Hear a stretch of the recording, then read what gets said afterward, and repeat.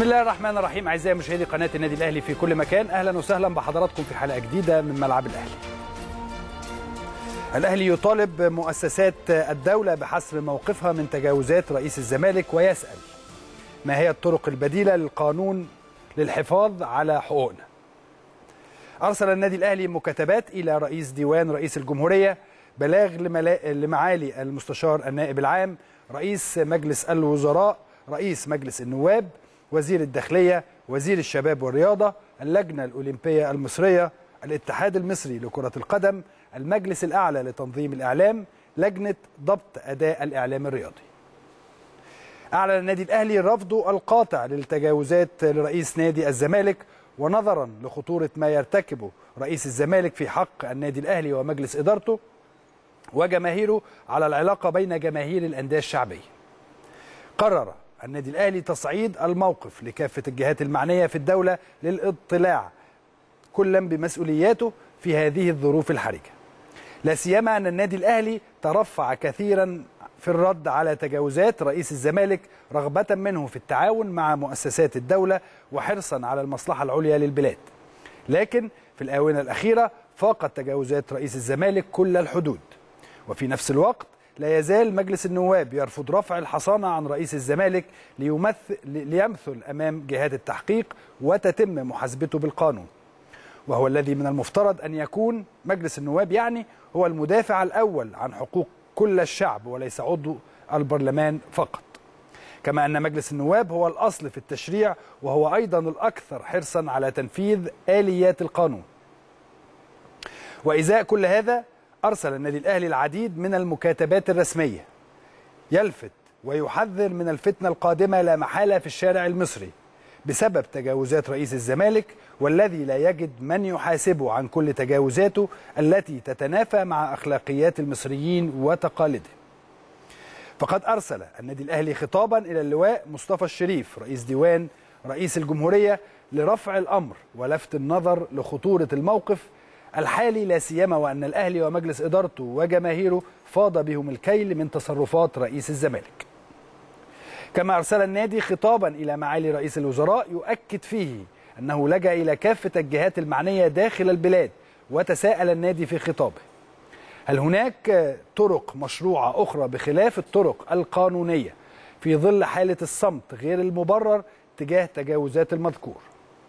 كما أرسل النادي الأهلي خطابا إلى الدكتور علي عبد العال رئيس مجلس النواب يطالبه بأن يمثل رئيس نادي الزمالك أمام القانون في دولة القانون أسوة بكل المصريين. وأنه على مجلس النواب أن ينحاز لكل أفراد الشعب المصري وليس العضو البرلمان فقط الذي يستثمر الحصانة في الهروب بتجاوزاته وإساءاته للآخرين.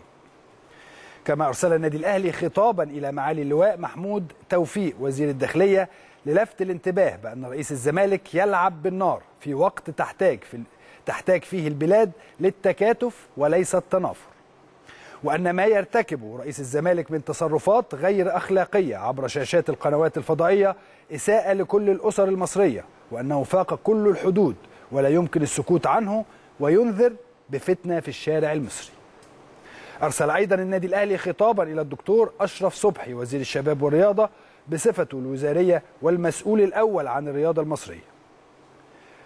أرسل فيه بأن يكون هناك رد قاطع إما بمحاسبة رئيس الزمالك بالقانون أو إفادة النادي الأهلي بالطرق الشرعية البديلة للحفاظ على حقوق مجلس إدارته وجماهيره.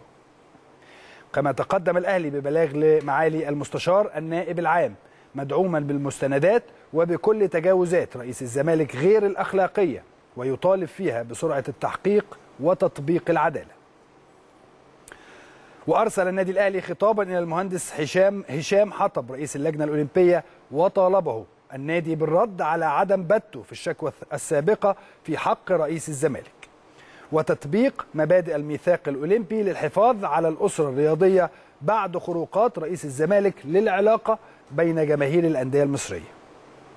أيضا أرسل النادي الأهلي خطابا إلى الأستاذ عمرو الجنايني رئيس اللجنة المؤقتة للاتحاد المصري لكرة القدم وطالبه فيها بتنفيذ وعوده التي أعلنها على الملأ عند توليه المسؤولية بأنه سوف يتخذ إجراءات رادعة اتجاه أي أي تجاوز من إدارات الأندية وهو ما لم يحدث حتى الآن.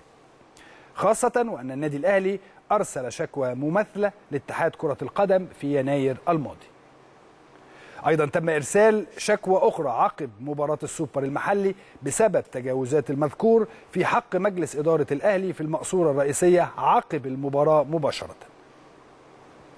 ولكن اللجنة المؤقتة للاتحاد لم تنظر هذا الأمر لأسباب هي تعلمها. كما أرسل النادي الأهلي خطابا إلى المجلس الأعلى لتنظيم الإعلام وآخر للجنة ضبط الأداء الإعلامي الرياضي ومرفق معه تجاوزات رئيس الزمالك على سيديهات وطالب النادي الأهلي كافة الجهات المعنية الاطلاع بمسؤولياتها والتصدي لهذا المتجاوز بالقانون. وألا تقف الحصانة البرلمانية حامية للتجاوزات والخروج عن الآداب العامة والإساءة لكل الأسر المصرية. طيب. خلينا نروح للمستشار محمد عثمان المستشار القانوني للنادي الأهلي. أستاذ محمد ازي حضرتك يا فندم؟ حضرتك يا كابتن إسلام على حضرتك وعلى كل مشاهدينك الكرام. يعني سيادة المستشار مهم جدا إن إن جمهور النادي الأهلي يعرف ومش الجمهور النادي الأهلي بس ولكن جمهور مصر بالكامل يعرف ماذا حدث خلال امبارح والنهاردة. والنادي الأهلي الخطابات اللي أرسلها دي هل ستجد صداها ولا لأ؟ اولا خليني أوضح لحضرتك ولمشاهدينك الكرام المسألة لم تعد جمهور الكورة أو جمهور الأهلي أو جمهور الزمالك نعم الأمر ببعض هذه التجاوزات والألفاظ وخدش سمعة العائلات وقذف سيدات فضليات محصنات في البيوت لا علاقة لهم بالأمر من قريب أو من بعيد أو بأي خلاف رياضي إن وجد أو صح. فبالتالي إحنا لا نتحدث عن قضية تخص النادي الأهلي أو مجلس إدارة النادي الأهلي أو الزمالك بقدر ما بنتحدث على مسألة أخلاقية مسألة إحنا كمجتمع شرقي وعربي عندنا تقاليد عندنا أخلاقيات هذه الألفاظ اللي بتقال وتناول الناس بهذا الشكل وبهذه الصورة أعتقد إن كل المجتمع المصري بيرفض هذه السلوكيات. النادي الأهلي منذ بداية الأمر لم يلتجئ إلا للقانون ثقة منه في مؤسسات الدولة وتقديرا منه واحتراما لكل مؤسسات الدولة. هذه المؤسسات سواء كانت مؤسسات تنفيذية ممثلة في معالي دولة رئيس مجلس الوزراء أو تشريعية ممثلة في السيد المحترم الدكتور علي عبد العال رئيس مجلس النواب وأيضا معالي الوزير أشرف صبحي واللجنة الأولمبية واتحاد الكرة. كل هذه الجهات هي جهات مختصة بضبط المفترض بضبط السلوكيات الرياضية أو الحفاظ على الأخلاق والسلوك الرياضي السليم. لجأنا إلى هذه الجهات منذ يناير الماضي. كل هذه الإجراءات اللي إحنا اتخذناها في إطار القانون حتى الآن لم نصل إلى نتيجة فيها محددة. الإجراءات معطلة القانون معطل في مواجهة هذه التجاوزات بزعم أن هناك حصانة أو حماية برلمانية. الأصل أن الحصانة البرلمانية هي مقررة للنائب لما يبدي من آراء تحت قبة البرلمان ولا علاقه ولا المفترض أنها لا تحمي من يسب ومن يقذف ومن يخدش حياء الناس أو أعراض الناس ويتناول الأسر والعائلات بالكذب وبالباطل وبالبهتان لأن هذا الحديث يثير الفتن بين الجماهير ومسألة عاملة استياء كبير لدى كل المجتمع المصري. تمام. حضرتك في بداية البيان اللي وزعه النادي الأهلي قال إن هل هناك طرق شرعية بديلة يمكن استخدامها؟ هل بالفعل هناك يا أستاذ محمد سياده المستشار هل من الممكن أن تكون هناك طرق شرعية أخرى يمكن أن يتجه إليها النادي الأهلي؟ في الحقيقة ده سؤال وجهته إدارة النادي الأهلي برئاسة الكابتن محمود الخطيب لكل الجهات اللي إحنا خاطبناها. بنقول له إحنا سلكنا طريق القانون. ولم نتحصل على حقوقنا الأدبية. فإحنا بنسأل حضراتكم جميعا هل هناك طرق بديلة نختص بها لحقوقنا وندافع بها عن أنفسنا ونحافظ بها على حقوقنا الأدبية والمادية إحنا بننتظر إجابة من كل الجهات اللي النادي الأهلي خاطبها. تمام. هل هننتظر النادي الأهلي سينتظر بالطبع إجابات على آه، هذه ال- الخطابات؟ بالطبع ننتظر إجابات وأيضا إحنا مستمرين في في كل إجراءاتنا القانونية. لن نتوقف لحظة واحدة ولا هذه الأمور آه، آه، لن نهتز لها. لأن في الحقيقة آه، انت وانت بتدافع انت ما بتدافعش عن اعضاء مجلس اداره الاهلي بقدر ما ندافع عن قيم وتقاليد للمجتمع المصري يجري اختراقها كل يوم ليلا بصورة مسيئة بصورة تنال من الدولة وتنال من مؤسساتها وتنال من الشخصيات العامة المصرية والوطنية اللي هم أعمدة هذه آه، الدولة. لما بتتكلم عن الكابتن محمود الخطيب انت ما بتتكلمش عن مجرد آه، رياضي أهلاوي. لا أنت تتحدث عن قيمة أخلاقية ورياضية آه، بيضرب به المثل في الاحترام وفي السلوك. آه، الرجل تحمل كثيرا ولم ينزلق آه، لأي آه، أساليب آه، رخيصة وبيتبع الطريق الذي رسمه القانون لأن أنت النهارده لما بتدعم آه، وبترفض التجاوزات التي آه، حصلت أو وقعت في حق آه، الكابتن محمود الخطيب ومجلس اداره النادي الأهلي وجماهيره. فأنت بترفض سلوكيات بيستهجنها كل الشعب المصري وكل المجتمع المصري آه، لأن الأمور لم يعد لها علاقة بالرياضة، الأمور آه، دخلت في أمور أخرى بعيدة عن الرياضة. تمام. سيادة المستشار هل آه، الخطوات القادمة إيه؟ الخطوات القادمة مستمرين في كل استيفاء إجراءاتنا لأن إحنا في بلاغ جديد للنائب العام اتقدم النهارده آه، بنستوفي كل هذه الإجراءات وإحنا مستمرين في كل الإجراءات اللي رسمها القانون ولن ننزلق لأي طرق أو أساليب آه، أخرى. طبعا ده حرصا وتقديرا لقيمة ومكانة وقيم وتقاليد النادي الأهلي. أنا بشكرك شكرا جزيلا يا سيادة المستشار آه، المستشار القانوني للنادي الأهلي المستشار محمد عثمان. وهو بيتكلم مع حضراتكم يعني بيبسط للجمهور المصري أو للجمهور اللي بيتفرج علينا. الجمهور اللي بيتفرج علينا شاف المستشار محمد عثمان وهو بيتكلم آه، الطرق القانونية هي من سو... هي إحنا في بلد قانون بالمناسبة عشان كده الطرق القانونية هي اللي هتجيب لنا هي ده الطريق الوحيد اللي إحنا نقدر ناخده. هو ده الطريق الوحيد اللي إحنا نقدر ناخده. وده هيبقى تعليقي الوحيد والأخير في هذا الموضوع. ده هيبقى تعليقي لأن أنا عارف إن في ناس كتيرة جدا مستنية تعليقي لكن أنا تعليقي الوحيد هو إن أنا لأن يا جماعة وأنا آسف إن أنا هقول هذا الكلام لأني لازم أقوله. من اللحظات التاريخية في حياتي أنا الشخصية كلاعب كرة قدم اللحظات اللي قابلت فيها كابتن محمود الخطيب. من اللحظات التاريخية في حياتي وما أعتقدش إن هي في حياتي أنا لوحدي. في حياه كتير قوي قوي من لعيبة الكورة. لما بعلم ولادي لما بعلم ولادي الأدب والأخلاق والاحترام الأدب والأخلاق والاحترام بقول لهم بصوا على آه، آه، القيمة محمود الخطيب. شوفوا محمود الخطيب بيتعامل إزاي. ساعات بروح النادي الكابتن بيبقى قاعد قدامنا قاعد في وسط الناس في أعضاء الجمعية العمومية. بنبقى قاعدين بعيد بنشوفه بيتحرك إزاي بيتكلم إزاي بيسلم على الناس إزاي. هتقولي أنت بتقول الكلام ده على الأقل الأهلاوية واللي بيحبوا كابتن محمود الخطيب عارفين كويس قوي الكلام اللي أنا بقوله. للباقي بقى اللي ما يعرفش الكلام ده أنا مش بقول الكلام ده عشان أنا في قناة النادي الأهلي. أنا بكرة همشي من قناة النادي الأهلي مش يعني الموضوع مش إن أنا موجود في قناة النادي الأهلي ولكن الموضوع إن أنا بالنسبة لي محمود الخطيب قيمة كبيرة جدا. جدا جدا جدا جدا. ولو كنت في قناة أخرى لو كنت في قناة أخرى كنت هطلع أقول مثل هذا الكلام. لأن أنت بتتكلم على قيمة كبيرة جدا جدا في عالم الرياضة المصرية. قيمة فنية جوه الملعب وقيمة أخلاقية بره الملعب.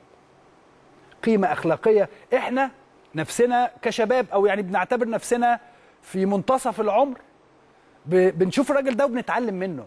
أنا بتكلم على نفسي. اللي شايف إن أنا آه، آه، أو اللي شايف إن الكابتن محمود الخطيب حاجة تانية هو حر. لكن أنا بتكلم على نفسي. أنا بالنسبة لي كابتن محمود الخطيب ده قدوة. بنبص له كده قدوة في الأخلاق. سيبكم بقى من من أي حاجة تانية.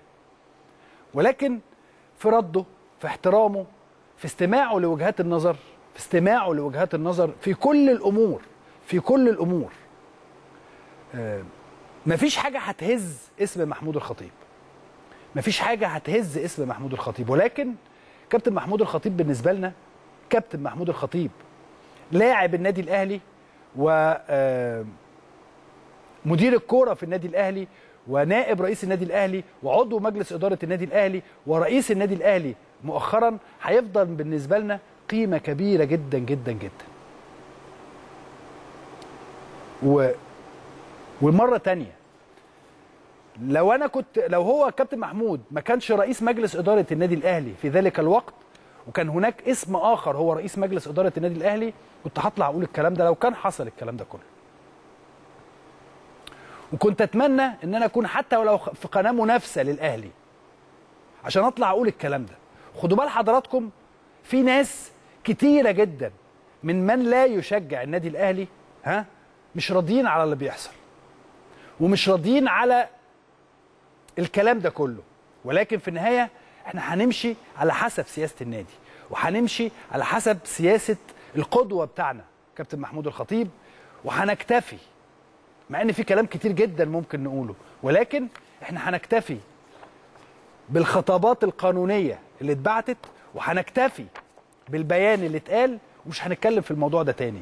ولكن أنا بتكلم آه، على الكابتن خطيب من قلبي. من قلبي.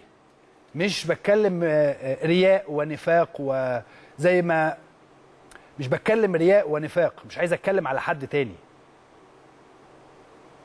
ف اتفرجوا شوفوا حاجات ب... دي حاجات بسيطة جدا. حاجات بسيطة جدا من آه، آه، من اسم محمود الخطيب ومن احترام محمود الخطيب. ما كنتش حابب إن أنا أتكلم في أي حاجة خالص ولكن آه، أنا بالنسبة لي لما يبقى في رمز في هذا البلد العظيم رمز في هذا البلد العظيم أي رمز أنا بتكلم في الرياضة لأن أنا بتاع رياضة بتاع كورة. فأي رمز هيفضل بالنسبة لنا قدوة كبيرة جدا بأخلاقه وبمبادئه وباحترامه للناس وبحب الناس ليه. من الأهلاوية ومن اللي ما بيشجعش الأهلي كمان بالمناسبة يعني.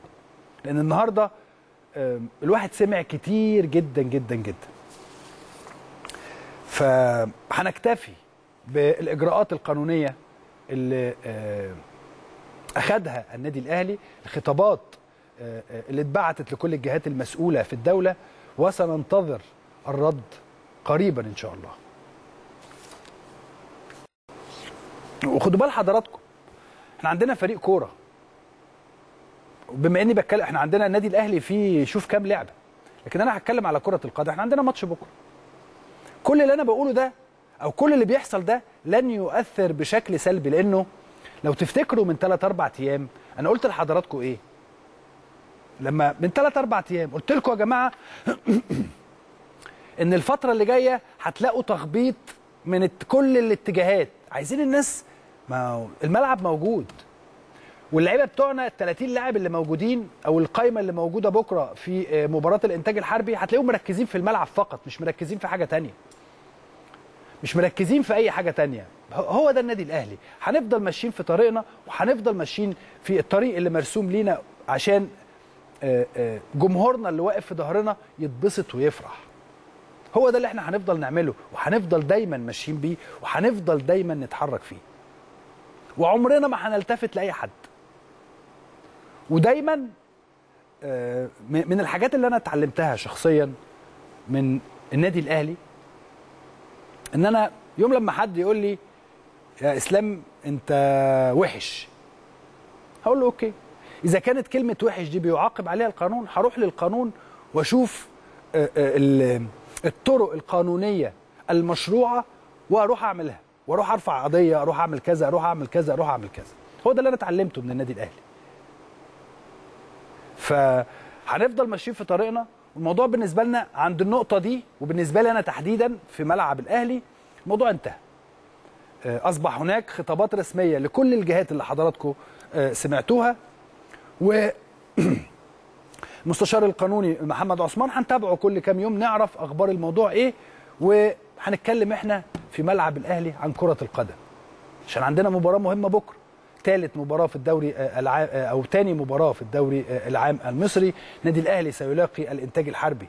قائمه تضم 18 لاعب أو تضم هقول لحضراتكم شريف إكرامي محمد الشناوي مصطفى شوبير رامي ربيعة أيمن أشرف ياسر إبراهيم علي معلول محمود وحيد محمد هاني أحمد فتحي رمضان صبحي حمدي فتحي وليد سليمان حسين الشحات عمرو السولية مجدي قفشه حسام عاشور جيرالدو جونيور أجاييه وليد أزارو وصلاح محسن. دي القائمه اللي أعلنها مستر ريني فايلر المدير الفني للنادي الأهلي. كرة القدم هي طريقنا. هنفضل ماشيين في طريق أو في هذا الشكل وبهذا المنظر. هن النهارده هنبقى مع حضراتكم بعد قليل هيكون معايا ثلاثة من نجومنا الكبار النجم الكبير الكابتن فتحي نصير النجم الكبير الكابتن إبراهيم عبد الصمد النجم الكبير الكابتن محمد حشيش. هنتكلم في كرة القدم مش هنتكلم في أي حاجة تانية. هنتكلم في كرة القدم إزاي النادي الأهلي يلعب بكرة. من وجهة نظرهم كيف سيلعب النادي الأهلي. المباريات السابقة المباريات القادمة. عندنا اتنين في واحد. شامبو وبلسم عندنا مباراه يوم الأربع ومباراه يوم السبت. أقل من 72 ساعة. هنتكلم في كل هذه الأمور وهنتكلم مع حضراتكم في كرة القدم ونشوف إيه اللي هيحصل في مباراة غدا. خلينا نطلع نشوف تقرير عن الأهلي يختتم استعداداته للإنتاج الحربي وهنرجع بقى نكمل مع حضراتكم بقية اخبارنا أهلا وسهلا بحضراتكم مرة أخرى أعزائي المشاهدين. معلش إحنا عرضنا لحضراتكم تقرير كابتن مختار مختار. وإحنا عملنا كده لأنه كابتن مختار مختار زي ما قلت لحضراتكم في من 3 4 أيام كده. قلت لحضراتكم إيه؟ قلت لكم إن من ضمن الحرب اللي دايما بتعلن عن النادي الأهلي وده هتشوفوه بكرة أو بعده هتشوفوه خلال الأيام اللي جاية. هيقول لك أصل كابتن مختار مختار راجل أهلاوي. كابتن مختار مختار راجل أهلاوي ولكنه رجل من أفضل المديرين الفنيين اللي موجودين في مصر. رجل دائما ما بيبحث عن المكسب ضد النادي الأهلي ضد نادي الاتحاد ضد نادي الزمالك ضد نادي أي نادي بيلعب قدامه. كابتن مختار طول عمره معروف إن هو دائما ما بيبحث عن الفوز. من ضمن الحاجات اللي هتحصل الأيام اللي جاية خدوا بالكم عشان برضو يبقى أنا قلت مرة واتنين وفي الآخر حضراتكم بتشوفوا وحضراتكم بتسمعوا الكلام اللي بيحصل بره وبتعرفوا وبتشوفوا ترجعوا تقولوا صح. فعلا قناة النادي الأهلي قالت هذا الكلام. ف كابتن مختار مختار من أصعب المباريات اللي دايما بيلعبها النادي الأهلي هي أمام كابتن مختار مختار. أنت ليه بتسبق يا إسلام وتقول الكلام ده؟ ما تستنى الماتش بكرة. أنا بسبق لأنه أصل النادي الأهلي ممكن جدا يكسب بكرة. الإنتاج الحربي ليه لأ؟ محدش عارف. كرة القدم فيها ثلاث نتائج التعادل والهزيمة والمكسب. محدش عارف بكرة إيه اللي هيحصل. ولكن الأقرب احتمالات ونتائج وكل شيء وفارق تاريخ وفارق لاعبين وفارق ميزانيات فارق كل حاجة للنادي الأهلي ولكن كرة القدم لا تعترف إلا بالمجهود جوه الملعب فقط فقط. مهما نقوله مهما تاريخه مهما وكذا وكذا وكذا ولكن الملعب هو الفيصل. الملعب اللي الناس عايزة تبعدنا عنه. الملعب اللي الناس عايزة تطلعنا منه. الملعب اللي الناس كل الناس أو من أو بعض من من لا يشجع النادي الأهلي بيطلعنا عايز يطلعنا بره الملعب. إحنا موجودين دورنا هنا ان إحنا نخلي اللعيبة مرك... مش دورنا يعني ولكن من ضمن أدوارنا ان إحنا نخلي دايما اللاعبين مركزين مع جهازهم الفني مع جهازهم الإداري اللي بيحافظ عليهم دائما الكابتن سيد عبد الحفيظ.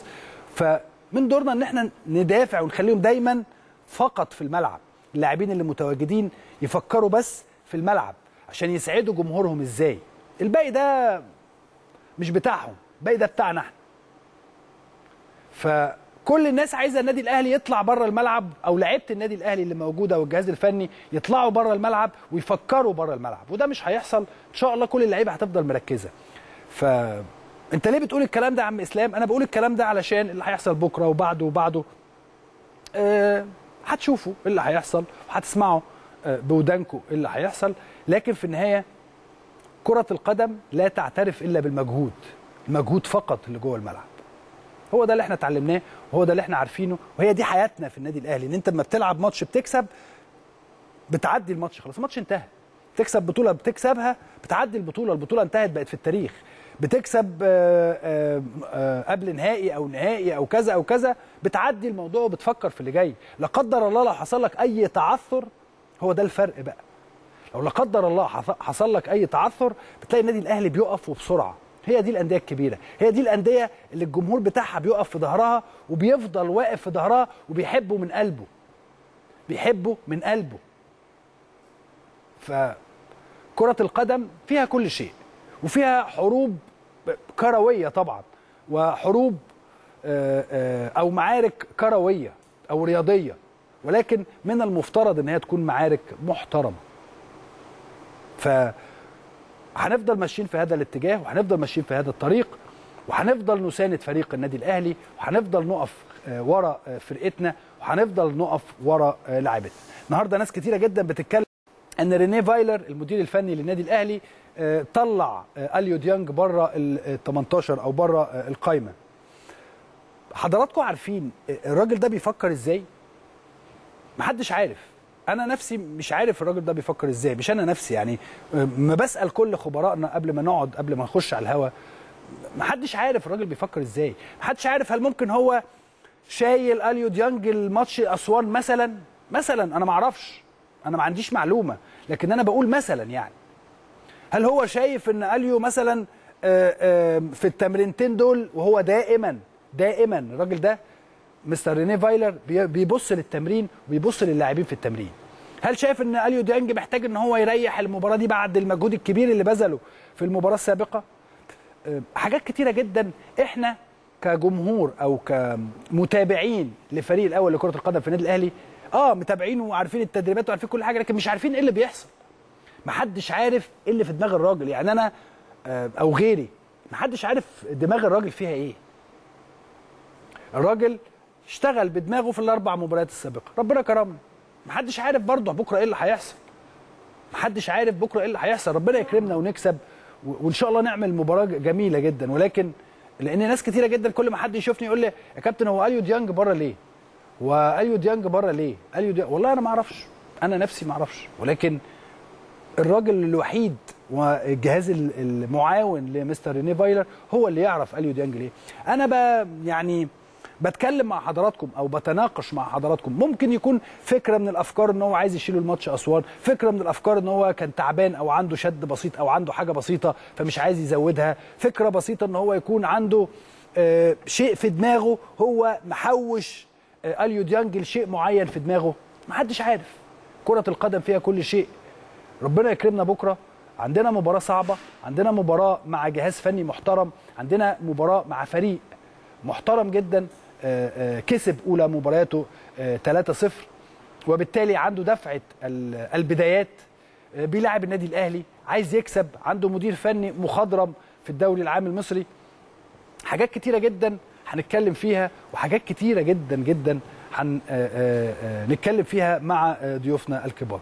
كل الأمنيات الطيبة إن شاء الله بكرة للنادي الأهلي أن يستطيع أن يفوز في ثاني مباريات الدوري العام المصري. عايز أقول لحضراتكم ان إحنا من خلال من خلال قناة النادي الأهلي وكالعادة مباشرة مع حضراتكم من الساعة 6 ساعتين ما قبل مباراة النادي الأهلي والإنتاج الحربي نحاول ننقل لحضراتكم أو كالعادة يعني ننقل لحضراتكم كل كواليس مباراة النادي الأهلي الفندق والعربيه وهي رايحة على الأتوبيس يعني وهو رايح واللاعبين قبل التسخين والتسخين بيبقى عامل إزاي والفريق اللي هيلعب مين ال11 اللي هيلعبوا ومين السبعة البدلاء.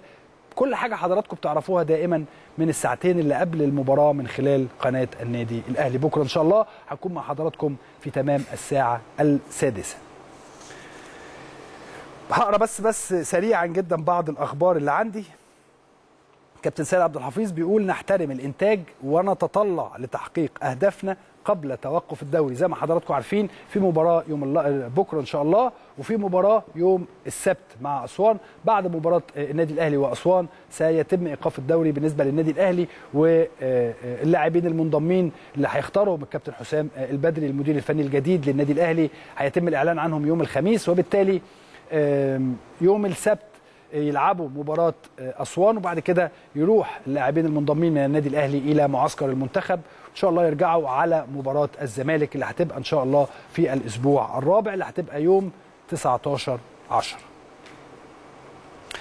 فالكابتن سعد الحفيظ قال إن الإنتاج الحربي يحظى بكل احترام وتقدير من النادي الأهلي وهناك اهتمام كبير وتركيز من الجميع قبل هذه المواجهة.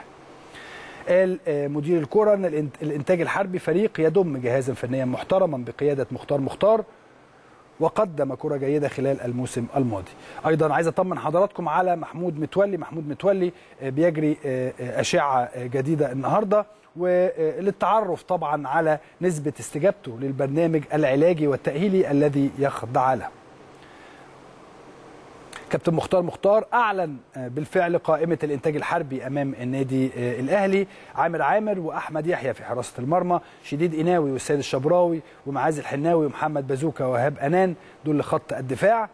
وغنام محمد وأيمن الطرابلسي وأحمد مجدي وكريم لالا ومحمد عادل وإبراهيم عبد الخالق وعلاء وعلاء سلامة ومحمد فييرا وموسى ديارا أما خط الهجوم أمادو آه، أنياس ومحمد رجب. كابتن مختار استبعد باسم مرسي وأحمد دويدار ومصطفى البدري من قائمة الإنتاج الحربي. إن شاء الله بكرة تبقى مباراة ممتعة آه، تليق باسم الناديين الكبيرين سواء النادي الأهلي أو نادي الإنتاج الحربي. هطلع فاصل وبعد هذا الفاصل أستقبل ثلاثة من نجومنا الكبار. نجم الكبير الكابتن فتحي نصير نجم الكبير كابتن آه، إبراهيم عبد الصمد نجم الكبير كابتن محمد حشيش بعد هذا الفاصل.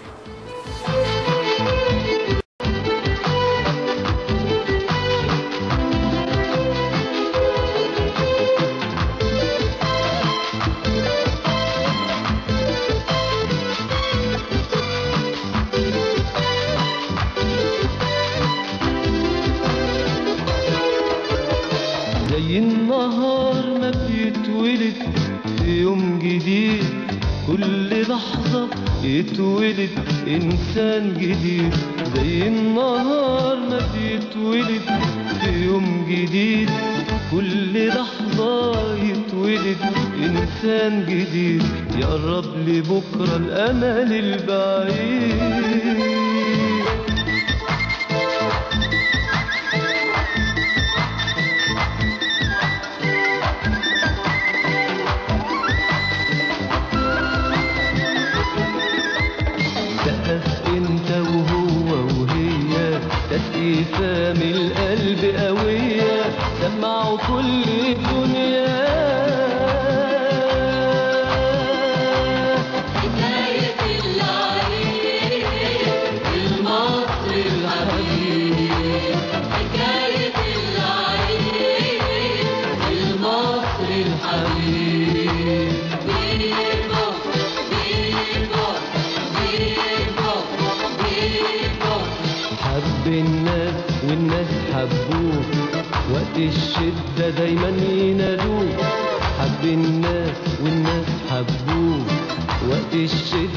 إنسان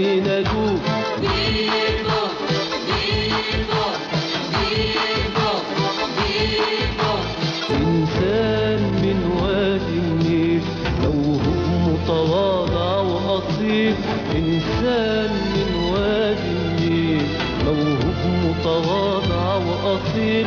راجل والرجالة كتير في مصر بيحب الخير لمصر. راجل والرجالة كتير في مصر. بيحب الخير لمصر. فنان في إحراز النصر.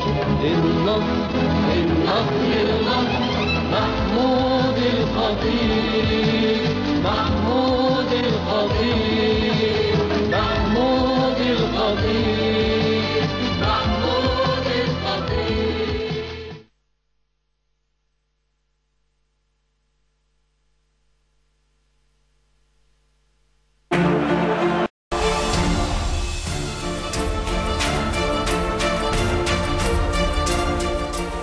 وسهلا بحضراتكم مرة أخرى أعزائي المشاهدين. خلوني أرحب بضيوفي ونجومنا الكبار النجم الكبير الكابتن فتحي نصير. ازيك يا كابتن فتحي؟ يا كابتن اسلام؟ كله تمام؟ الحمد لله الحمد لله. أيضا. النجم الكبير الكابتن إبراهيم عبد الصمد. ازيك يا كابتن أنا يا إبراهيم كابتن إسلام. كله تمام.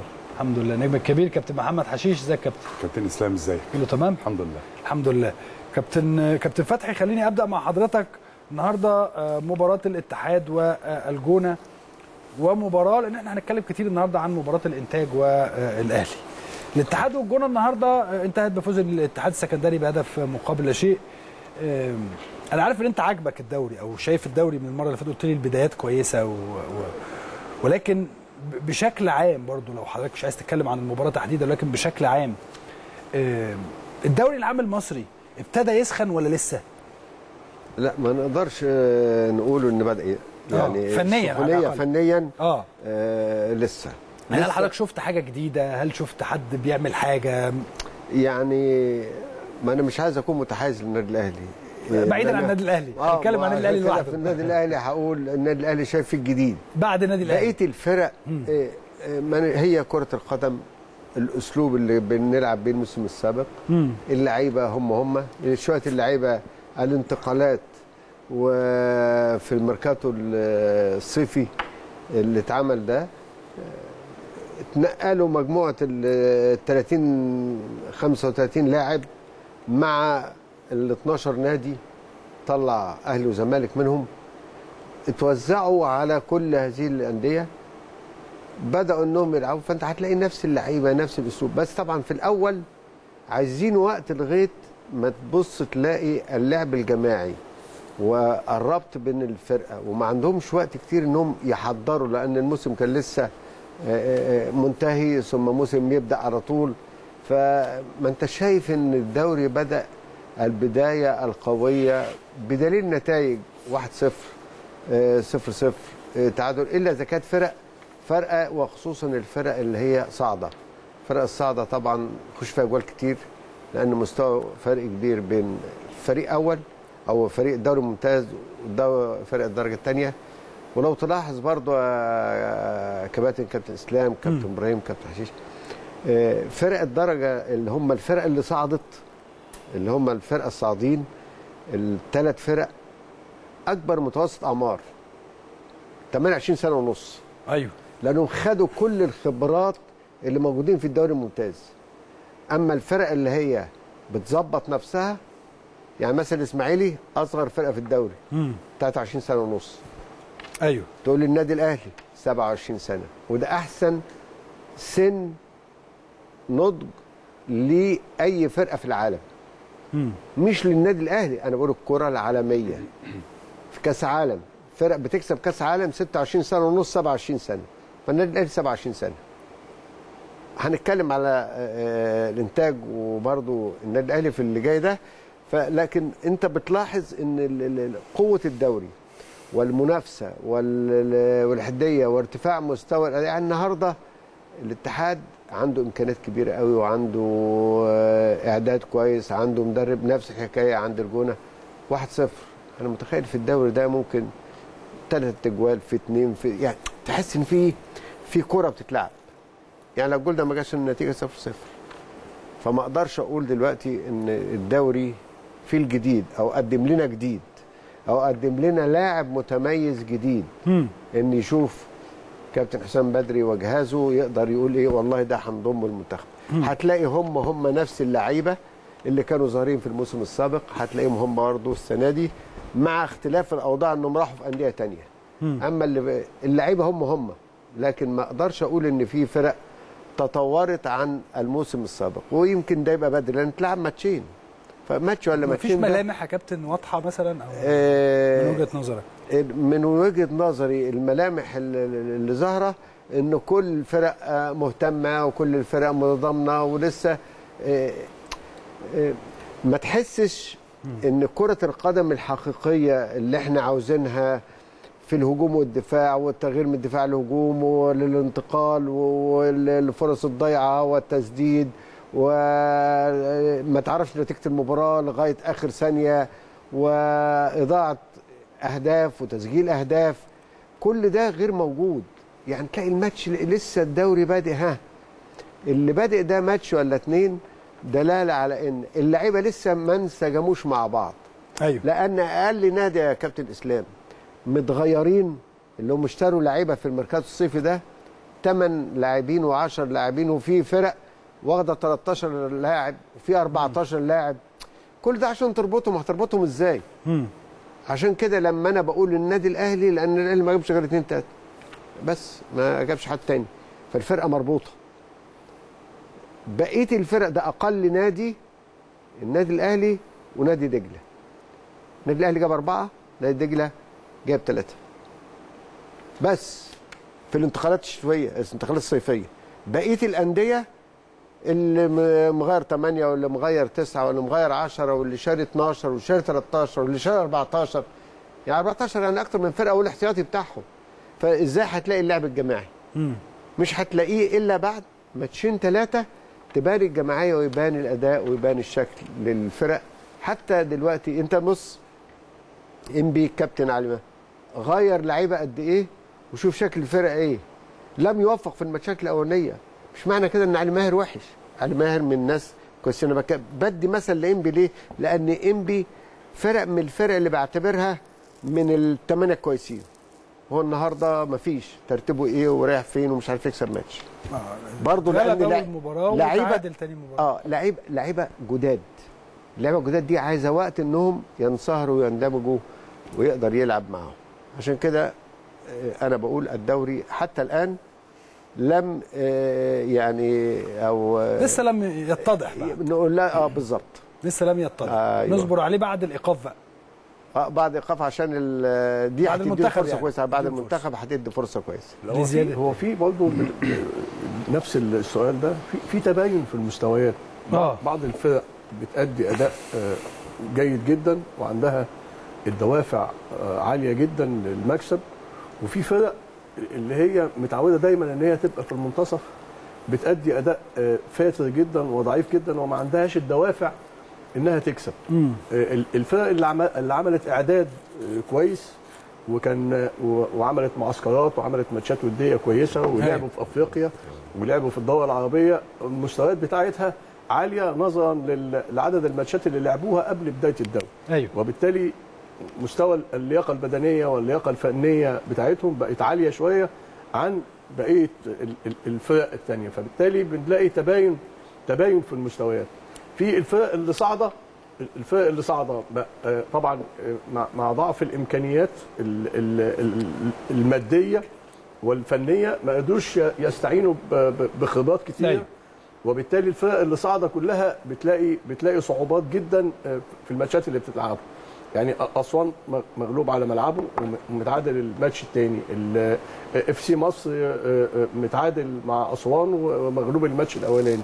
الوحيدة طنطا اللي هي كسبت ملعبها 1-0 ال- في فرق برضو بتقدم مستويات قليلة جدا. اللياقة البدنية والاستعانة بعدد اللعيبة زي ما قال الكابتن فتحي استعانوا بعدد لعيبه قليلين. ال- ال- الدوري الممتاز محتاج خبرات للدوري الممتاز. مش اي مش أي لعيب بيجيد يقدر يلعب في الدوري الممتاز. يعني ممكن مش ممكن لعيب في الدرجة الثانية تجيبه آه، يبقى كويس في الدرجة الثانية وتجيبه يلعب في الدوري الممتاز. وبالتالي الفرق اللي استعانت بلعيبة كتير من من الدرجة الثانية بتلاقي صعوبات جدا في إنها آه، تلعب الدوري. في خمس ست فرق بس يعني الإسماعيلي ماشي كويس قوي المصري ماشي كويس قوي آه، بيراميدز ماشي كويس الأهلي والزمالك ماشيين كويس ال ال الاتحاد بيقدم مستوى جيد. يعني النهارده برغم إن هو كسب آه، 1-0 إنما عنده الدوافع الدوافع عالية جدا إن هو إن هو يكسب بعكس مثلا الجونة. اللعيبة آه بتأدي بتأدي أداء بتأدي بتلعب. الحقيقة الجونة في مباراه الاسماعيلي كانوا كويسين والنهارده ما. كانوش وحشين. والنهارده كويسين بس آه، الدوافع للمكسب. يعني ما بيلعبوش على الجون. يعني لما تلا... لما أنا اتفرجت على الماتش كله آه. لما لما نشوف هددوا هددوا مرمى الاتحاد كم مرة؟ صح عندك حق. مرتين ثلاثة صح. شوطة اكرم وواحدة بالعرض عملوها بالهيد بره إنما الاتحاد في شراسة في شراسة في الأداء وفي آه، آه، ال- ال- ال- المشاركة في في الهجوم وفي الدفاع. حتى لما اتطرد منهم واحد يعني الاتحاد لما اتطرد منه لعيب آه، مش حاسس إن إن إنهم بيلعبوا 10 مش أيوة. حاسس إن إن في فرق في الأداء. فبالتالي في تباين. الفرق اللي اهتمت بالضربات الثابتة في فترة الإعداد وإنهم يتمرنوا على الضربات الثابتة قدروا قدروا يحرزوا منها أهداف كتير. يعني لما تيجي تشوف ال- الضربات الثابتة اللي أحرزت في الماتشات حوالي تسع ضربات ثابتة ال- الفرق استفادوا منها. منها الماتش بتاع النهارده. يعني ضربة ثابتة كسبوا بيها الثلاثه بونت. ضربة ثابتة من من الشمال. محمود عزت دخل لعبها بدماغه. إيه، 1-0 كسب بيها 3 بونت. لما تيجي الفرق ال- ال- آه، آه، طاهر محمد طاهر آه، من ضربة ثابتة ضربة جزاء بيسجل منها ماتش. الماتش الإسماعيلي ماتش الإسماعيلي آه، ضربة ثابتة الاسماعيلي من خطأ من جده بيجيبها بي- بيجيبها جون. بك- بكلمك على الضربات الثابتة وإن الفرق اللي اهتمت بأداء الضربات الثابتة والناس بتشارك في الناحية الهجومية آه شكلهم بقى كويس وقدروا ياخدوا الثلاثه point. ضربة جا... ضربتين جزاء في ماتش بيراميدز عبد الله السعيد بيسجل منها ومحمد فاروق بيسجل منها. آه، آه، اوستن اموتو بتاع المصري بيسجل من من, ضربة ثابتة. آه، إسلام فؤاد بطنطا بينزل الشوط الثاني بي بي بي بي بيسجل من ضربة ثابتة برضه جاية من الجون بي بي بيجيبها جون. آه، عرضية بيسجل منها محمود رزق النهارده للاتحاد آه، من ضربة ثابتة. آه، معاذ الحناوي من ضربة جزاء. كل الفرق اللي, اللي, اللي اهتموا بالضربات الثابتة سواء ال corner سواء الفاول قدروا قدروا يحرزوا منها أهداف. بتكلم عن نقطة ثانية برضو البدلة وتوقيت نزولهم. يعني لما تيجي تتكلم عن البدلة مجموعة من البدلة نزلوا في الشوط الثاني غيروا نتيجة المباراة. ودي برضو آه، تحسب للمدراء الفنيين اللي هم آه، آه، واضعين ثقتهم في مجموعة البدلة اللي وتوقيت نزولهم. لما نيجي نتكلم على البدلة البدلة بيأدوا أداء كويس جدا وكانوا سبب في إن فرقهم تكسب. فهو ده التباين اللي موجود في الدوري. إنما آه في فرق كويسة وفي فرق قليلة بس الفرق القليلة بعد ثلاث أربع ماتشات هيبتدي آه، بعد التوقف زي ما أنت قلت إن شاء الله هيبقى ليهم شكل تاني. والدوري السنة دي من من أصعب الدوريات اللي هنشوفها آه، آه، نظرا للتنافس الشديد بين كل الفرق. تمام. كابتن حشيش برضو أهم الحاجات اللي أنت شفتها حتى لو حاجات سلبية أهم الحاجات السلبية أو إيجابية في ال- المباريات الأولى. إحنا لسه يا دوبك بدأنا النهارده الأسبوع الثاني أنا هتكلم بصفة عامة. اولا. ما ينفعش تحكم على بطولة الدوري من أول أسبوع. يعتبر إحنا في أول أسبوع مش تاني أسبوع. لأن في حوالي 8 فرق يا كابتن فتحي لسه ما لعبش إلا ماتش واحد. صح. آه، آه، تفاوت في ظروف الفرق. في فرق رجلها في الملعب أهلي زمالك الناس اللي بتلعب في إفريقيا لاعبين بيراميدز مصري. وبيراميدز إفريقيا. والدول آه، والبطولة العربية. العربية. والاتحاد. يعني فالفرق دي ما ينفعش أقارنها بالفرق الثانية صح. في الاستعداد صح. ورجلها في الملعب. آه ما ينفعش أقارنها بالثلاثه اللي لسه صاعدين اللي هم نادي مصر وأسوان وطنطا. ما أقدرش أبص على الجدول كده وأحكم وأقول الله ده طنطا في الترتيب ال- السادس أو الخامس. وفرقة زي الجونة لعبه ماتشين عاملة ماتشات كويسة قوي إنما حظها إنها اتغلبت الماتشين. يعني ما أقدرش أقارن بين آه، آه، دول ودول. لسه في ماتشات كتيرة. يعني طنطا دلوقتي مثلا أول ماتش آه، لعبت مع وادي دجلة. آه، كانت وادي دجلة آه، الأحسن وكانوا مسيطرين و و وكرة مرتدة جوه. هل ده مقياس لفرقة طنطا؟ لا. لا. استنى ما اتفرج عليها مع الفرق ال- المتوسطة والفرق القوية. يعني هي عندها مثلا المباراة اللي جاية بيراميدز. أو الاختبار حقيقي مع الكبار. إنما أنا يعني بصفة عامة برضو هتلاقي ال- الماتشات الحلوة اللي هي ماتشات مثلا الأهلي مع سموحة مقاولين وسموحة زمالك واتحاد الفرق اللي هي برضو آه، فيها طرف النادي الأهلي نادي الزمالك الفرق الكبيرة ال- ال- المقاولين وسموحة كانت مباراة كبيرة وفيها كورة وفيها أهداف إنما مثلا لما أجي أبص على إف سي والفرقه اللي كانت الحربي. أسوان آه أسوان. الأسوان آه، آه، صفر صفر المباراة ومباراة يعني أنا أنا في رأيي لا ترقى للدوري الممتاز. إنما معذورين لسه أول ماتشات ليهم ولسه بيتحسسوا سواء لعيبة آه، ما خدتش لسه على الممتاز أو أجهزة فنية معاهم. ما أقدرش أحكم عليهم. أحكم عليهم بعد ثلاث أربع خمس آه، مباريات. فعشان كده يعني آه، آه، آه، ال- ال- الماتشات كلها فيها لغايه دلوقتي وماتشات عدد قليل كمان يا كابتن فتحي. يعني أنت بتتكلم بس في آه، يمكن واحد اثنين ثلاثة أربعة ست آه، فرق اللي لعبت آه، ماتشين. فلسه ما تقدرش تحكم إسلام على ال... كذلك برضو في فرق آه، آه، كبيرة بس معاها آه، أجهزة فنية جديدة أجنبية لسه برضو ما عرفتش الدوري المصري حتى مهما مهما كان إنها اتفرجت على فيديوهات أو حد قال لها أجهزة معاونة إنما لسه برضو الأجانب ما شافوش الشغل لا الشغل. العملي ثلاث أربع؟ ماتشات هيبتدي يلم كل الفرق هيتفرج على ثلاث أربع ماتشات. لكل فرقة هي- الشكل هيتغير. الشكل هيتغير خالص صح، يعني. صح. آه، في من الظواهر بقى اللي هي حالات الطرد اللي موجودة في الأسبوع الأولاني والثاني أعتقد في حالتين آه، طرد يا كابتن إبراهيم. طارد النهارده. آه عمرو جمال وفي طرد آه، النهارده. فدي برضو من الظواهر السلبية اللي موجودة. إحنا لسه المنافسات ما بقتش قوية. لسه في المباريات ما بقتش آه، جامدة. لسه ما فيش النقطة والثلاث ثلاث نقاط. ومع ذلك الناس بتتعصب وتتنرفز آه، أداء التحكيم برضو لسه ما نقدرش زيه زي ال- الفرق لسه برضو آه، المستوى لأن بس المستوى شايفين الفني أسماء جديدة على شايفين- الأقل يعني شايفين دي من. الايجابيات إن إحنا شايفين آه، يعني حكام جداد بس برضو ما تقدرش تحكم عليهم طبعا. الحكم طبعا. برضو زي اللعيب بيتحكم عليه في مباراة قوية ما بتبقاش مباراة سهلة زيه زي الفرق برضو المست- المستوى هيجي بالتدريج مع تصاعد ال- المباريات يعني ما فيش أي حاجة لسه باينة. لسه؟ ده هو ملخص الكلام يعني ممكن يعني شوية يا كابتن سام لما إحنا قلنا المستوى كله وقلنا لأن ما فيش أداء يمكن الكابتن إبراهيم أضاف إن في الفرق اللي هي مشاركة افريقيا. والمشاركة عربيا انها لعبت ماتشات أكتر من كده فبقى لها. شكل إلى حد ما. كابتن حشيش آه. يعني قلت اللي جلاه في الملعب كابتن إبراهيم. حشيش قال ال- آه، أنا اتفضل. قلت هو قال. آه. تمام اتفضل مفيش غلطات. آه، واحدة إحنا واحدة. لا لا في الأول لما قال دلوقتي لعبوا مع بعض. آه لعب ففي في التكملة اللي لعبوا افريقيا ولعبوا عربيا المجموعة دي كلها شكلها متغير إلى حد ما عن الفرق اللي لسه أفضل شوية. أفضل من اللي ما لعبتش والحتة اللي برضو الكابتن حشيش بيقول عليها إن لما أسوان وإف سي مصر اتعادلوا في ماتش لا يرقى انك تحس إن الماتش مش كابتن ما إبراهيم فيهوش- اللي لا اللي قال دي كابتن. كابتن حشيش. المهم دي بقى لها ليه؟ إحنا قلنا لأن متوسط أعمار الفرقتين 28 سنة ونص. يا لعيبه كبار وبيلعبوا في جو حر. فاستحالة هيدوك كورة. يعني على حسب النتيجة إن أسوان في المباراة الأولى أمام المقصه 3 2 واضح إنها مباراة حلوة. إحنا ما شفناهاش. آه، طبعاً. ولكن واضح إنها مباراة حلوة. آه. فيها أهداف. ما كانت في حر برضه 3 2 آه لا 3 أسوان ومصر كان في أعتقد في. إف سي كان في أسوان برضه. أصل أسوان لعبت ماتشين كده ورا بعض وبعدين أصلا ما حدش يكلمها على الحر يعني آه لا ما. بس خلي بالك ما دلوقتي ما بقاش طبعاً. اللعيبة كلهم كله من لا، أسوان كلهم من طبعاً، بره طبعاً. يعني. لا آه. كله فيعني فيعني بالليل كمان ممكن يعني هو الشكل ف... فاحنا نصبر آه، حتى تبوح آه، بأسرارها بعد يعني ال- بعد التوقف بعد غالباً التوقف يعني. إن شاء الله طيب آه، كابتن إبراهيم آه، بكرة إن شاء الله في آه، أربع آه، أو بكرة في مباراتين هو 2 أكتوبر الاسماعيلي سيلاقي النادي المصري والأهلي والإنتاج. الأهلي والإنتاج هنتكلم عليه لوحده.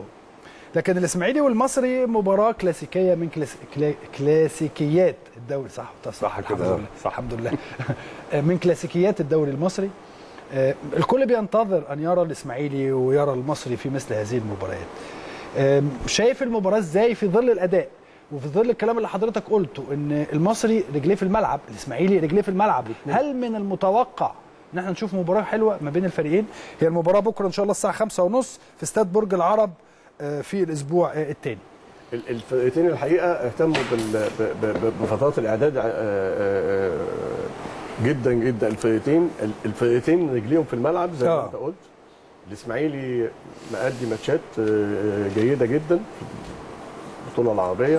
المصري في البطولة الأفريقية كسبان ماتشين. آه فرقة ضعيفة وكل حاجة. إنما ده بس أدائهم كويس. بس أدائهم بس أدائهم جيد جدا. ال- ال- اللعيبة بتاعت المصري في حاجة جديدة. في حاجة جديدة إيهاب إيهاب عملها. في الحافز والدافع بقى بقى موجود عند اللعيبة.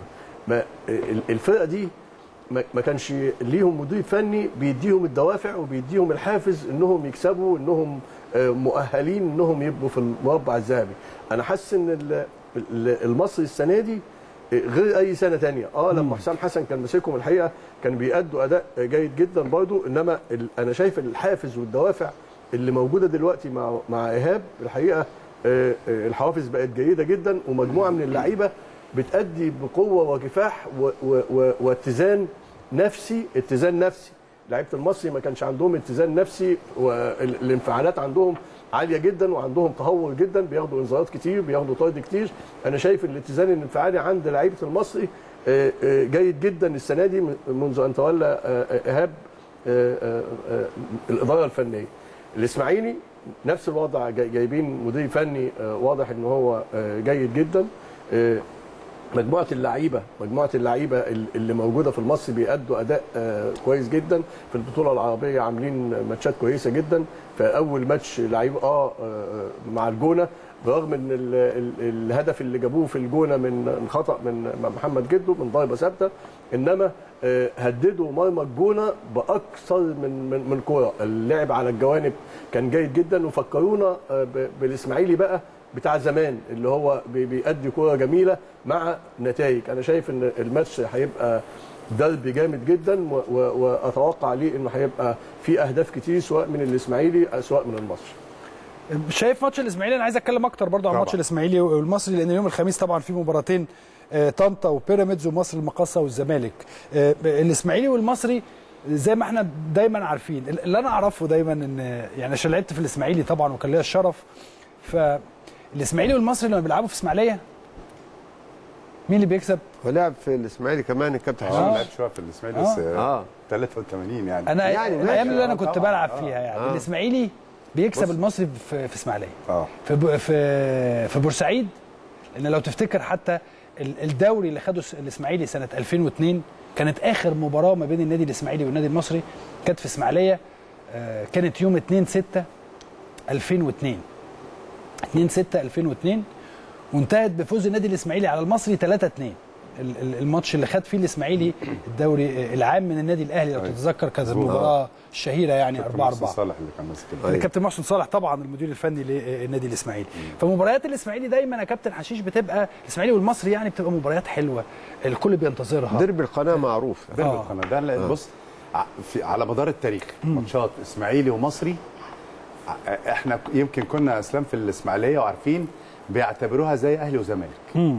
ماتشات قوية جدا جدا آه، لتسيد خط القناة. بالظبط. آه، اللعيبة ايا كان حتى لو الإسماعيلي متأخر في الترتيب أو المصري متأخر في الترتيب يا كابتن أو ظروفه أو مستواه بتلاقي المباراة ده بالتحديد الدوافع بتخلي المباراة قوية جدا. يعني حتى لو في صح. مستوى أقل من مستوى ال- الدوافع عند آه، الفرقتين اللعيبة هنا واللعيبة هنا والأجهزة والشحن اللي اللي بيعملوه مع اللعيبة بتخلي المباراة قوية جدا جدا. يعني بتطلع عارف اللي بيكسب بيبقى بيكسب بالعافية. عمر ما حد فيهم كسب الثاني مريح score مريح. فهم يعني مباريات قوية. الاسماعيلي راح المباراة دي وهو عنده 3 point كسبان. آه، المصري متعادل المباراة اللي قبلها راح ب point واحد. آه، المصري عايز ينافس من البداية. ما ينفعش يستنفذ نقاط من بدري. آه، حتى ولو كان المباراة يعني طبعا المباراة تلعب في برج العرب.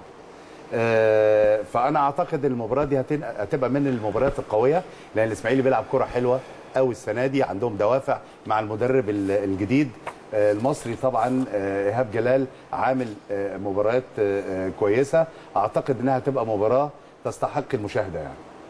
تمام. آه كابتن فتحي آه برضو مباراة طنطا وبيراميدز إن شاء الله هتبقى يوم الخميس آه 3 آه أكتوبر. مباراة مهمة ومباراة هتبقى الساعة 3 زي ما كابتن حشيش وكابتن إبراهيم وحضرتك تفضلتوا وقلتوا قلتوا ان هي هتبقى أولى الاختبارات الحقيقية لنادي طنطا. هتبقى الاختبارات حقيقيه لكن طبعا المباراة نظري في حاجة نظرية بنقولها على الورق وبعدين في الملعب بيتكلم. بالظبط. نظرية على الملعب اللي هو على الورق عندنا بنقول بيراميدز لعب أكتر لاعب إعداد أكتر عنده مدرب متميز جدا. فاهم عارف. لسه صاعد دلوقتي سافر الجزائر لعب ماتش كويس قوي وقدر يصعد لدوري المجموعات. إذا عنده دوافع على الفرقه معنوياتها عالية جدا. طنطا خبرات أقل لكن هتلاقي عنده حماس.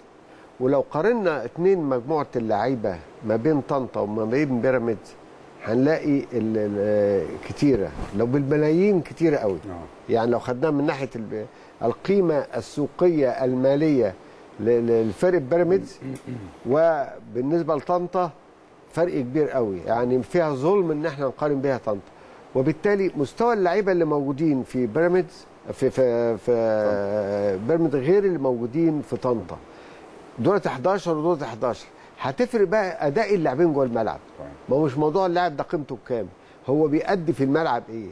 فممكن اللاعب اللي هو لاعب طنطا ده ما بينزل في يوم المباراة هيدي أقصى حاجة عنده هيبقى عنده آه، أداؤه الفني مظبوط في التزام في انضباط في كده.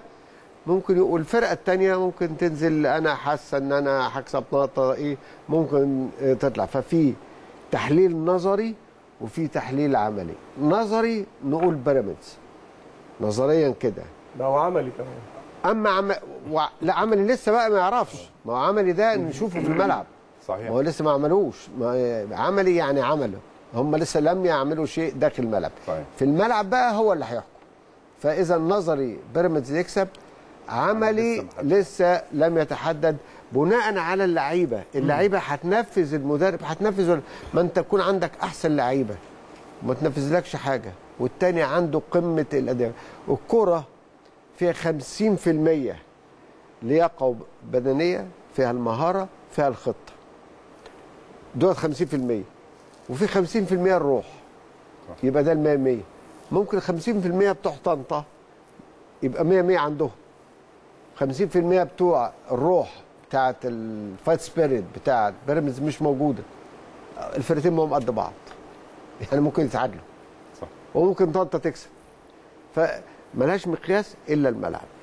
تمام. ممكن أضيف بس كلمة صغيرة. برضه هضيف. آه اتفضل. طيب، حضرتك هتضيفوا أنت اللي كتير قلت الأول. طيب. ضيف أنت طيب. وبعدين ضيف. ال- ال- الفرق يا أسلام وأنا الفرق- أستنى أستنى. الفرق ال- الكبيرة يا كابتن فتحي اللعيبة ال- ال- ال- إمكانياتها كبيرة قوي. دايما مع الفرق الصغيرة غصب عنها وهي نازلة المباريات السهلة آه، ما بيبقاش التركيز 100% على اعتبار إن فرقة آه، طنطا وفرقة سهلة بالنسبة لهم آه، مقارنة اللعيبة ببعضها آه، بتدي نوع برضو يعني بتشيل بعض التركيز من اللعيبة في استرخاء. استرخاء شوية. استرخاء ذهني. على العكس بقى مع الفرق الصغيرة. يعني لما لو هنلعب man to man أو لعيب مع لعيب اللعيب بتاع طنطا مش هتفرق معاه إنه يخش ويترقص ويقوم تاني وياخد الكورة. على عكس اللعيب الكبير اللي بيبقى حاسس ان إمكانياته كبيرة آه، مع لعيب صغير أو أقل شوية يعني بيبقى خايف إن هو يترقص خايف إنه كذا. فممكن القصة دي علاوة على الحماس والتركيز اللي قلنا عليه ما حدش عارف نتيجة المباراة. الكوره علمتنا إن ممكن فيها مفاجآت. آه بيراميدز فرقة قوية وكسبت أول ماتش سكور وترتيب في جدول الدوري إنما ما حدش عارف المفاجآت الكوره وخصوصا إن إحنا لسه في البدايات. لسه فرقة طنطا مش معروفة كمان للفرق كلها. لسه أول مرة تلعب في البطولة. فبرضه فرقة بيراميدز مش عارفة فرقة طنطا ولا ما تقدرش تحكم عليها برضه من اول المباراة. تمام. كابتن بر... آه عايز تضيف آه، قبل ما أسأل أنا- ولا آه، بعد أنا شايف ان ان إن الكفاءات ال- ال- الفنية اللي موجودة داخل آه، بيراميدز الحقيقة أعلى جدا من من الكفاءات الفنية اللي موجودة في طنطا. تمام. أنا شايف عندهم دوافع آه، آه، بيراميدز دوافع شديدة جدا. خاضوا مجموعة من المب- هي دي من الفرق. اللي استعدوا جديا لل- للكونفدرالية وال- وال- والدوري وبالتالي ولعبوا قبل كده عاملين- الكاس. ده عاملين عاملين ماتش مع نهائي مع كاس. الجزائر أيوة، عاملين. ماتش مع آه. الجزائر آه، آه، أكثر من رائع يعني مهددين الجزائر طول طول الشوطين وكس- وكسبوا 1-0 في- هناك عاملين ماتش أكثر من رائع فالدوافع عندهم عالية جدا إنهم يحققوا حاجة جيدة جدا السنة دي ويبقوا منافسين للأهلي والزمالك زي ما كانوا منافسين في الدوري السابق. أنا أنا شايف إن ال- الأمور آه، آه، برغم هيبقى في كفاح آه من لاعبي طنطا وكله بس مش ما عندهمش حلول فردية زي الحلول الفردية اللي موجودة في لاعبي آه، بيراميدز. عندهم بكل الحلول الجوانب عندهم عالية جدا. ال- الحلول الفردية اللي ممكن أي لعيب ممكن يخترق من النص عندهم عندهم الناس اللي بتلعب بالهيد كويس جدا. طنطا ما عندهمش الخبرات الفنية اللي تقدر تضاهي آه، لعيبة بيراميدز في الماتش اللي جاي. فهيكافحوا آه إنما أنا شايف على فكرة أنا عايز أقول حاجة. بيراميدز هيبقى ليه هو ال- الأسبقية عايز أقول لك حاجة أبو كباتن يعني. إحنا مش معنى إن أنا والكابتن فتحي بنقول الكلام ده إنما لو جه اسلام يقول لنا التوقعات هنقول بيراميدز وسكور. لا، ما أنا- يعني انت ما فاهم إزاي.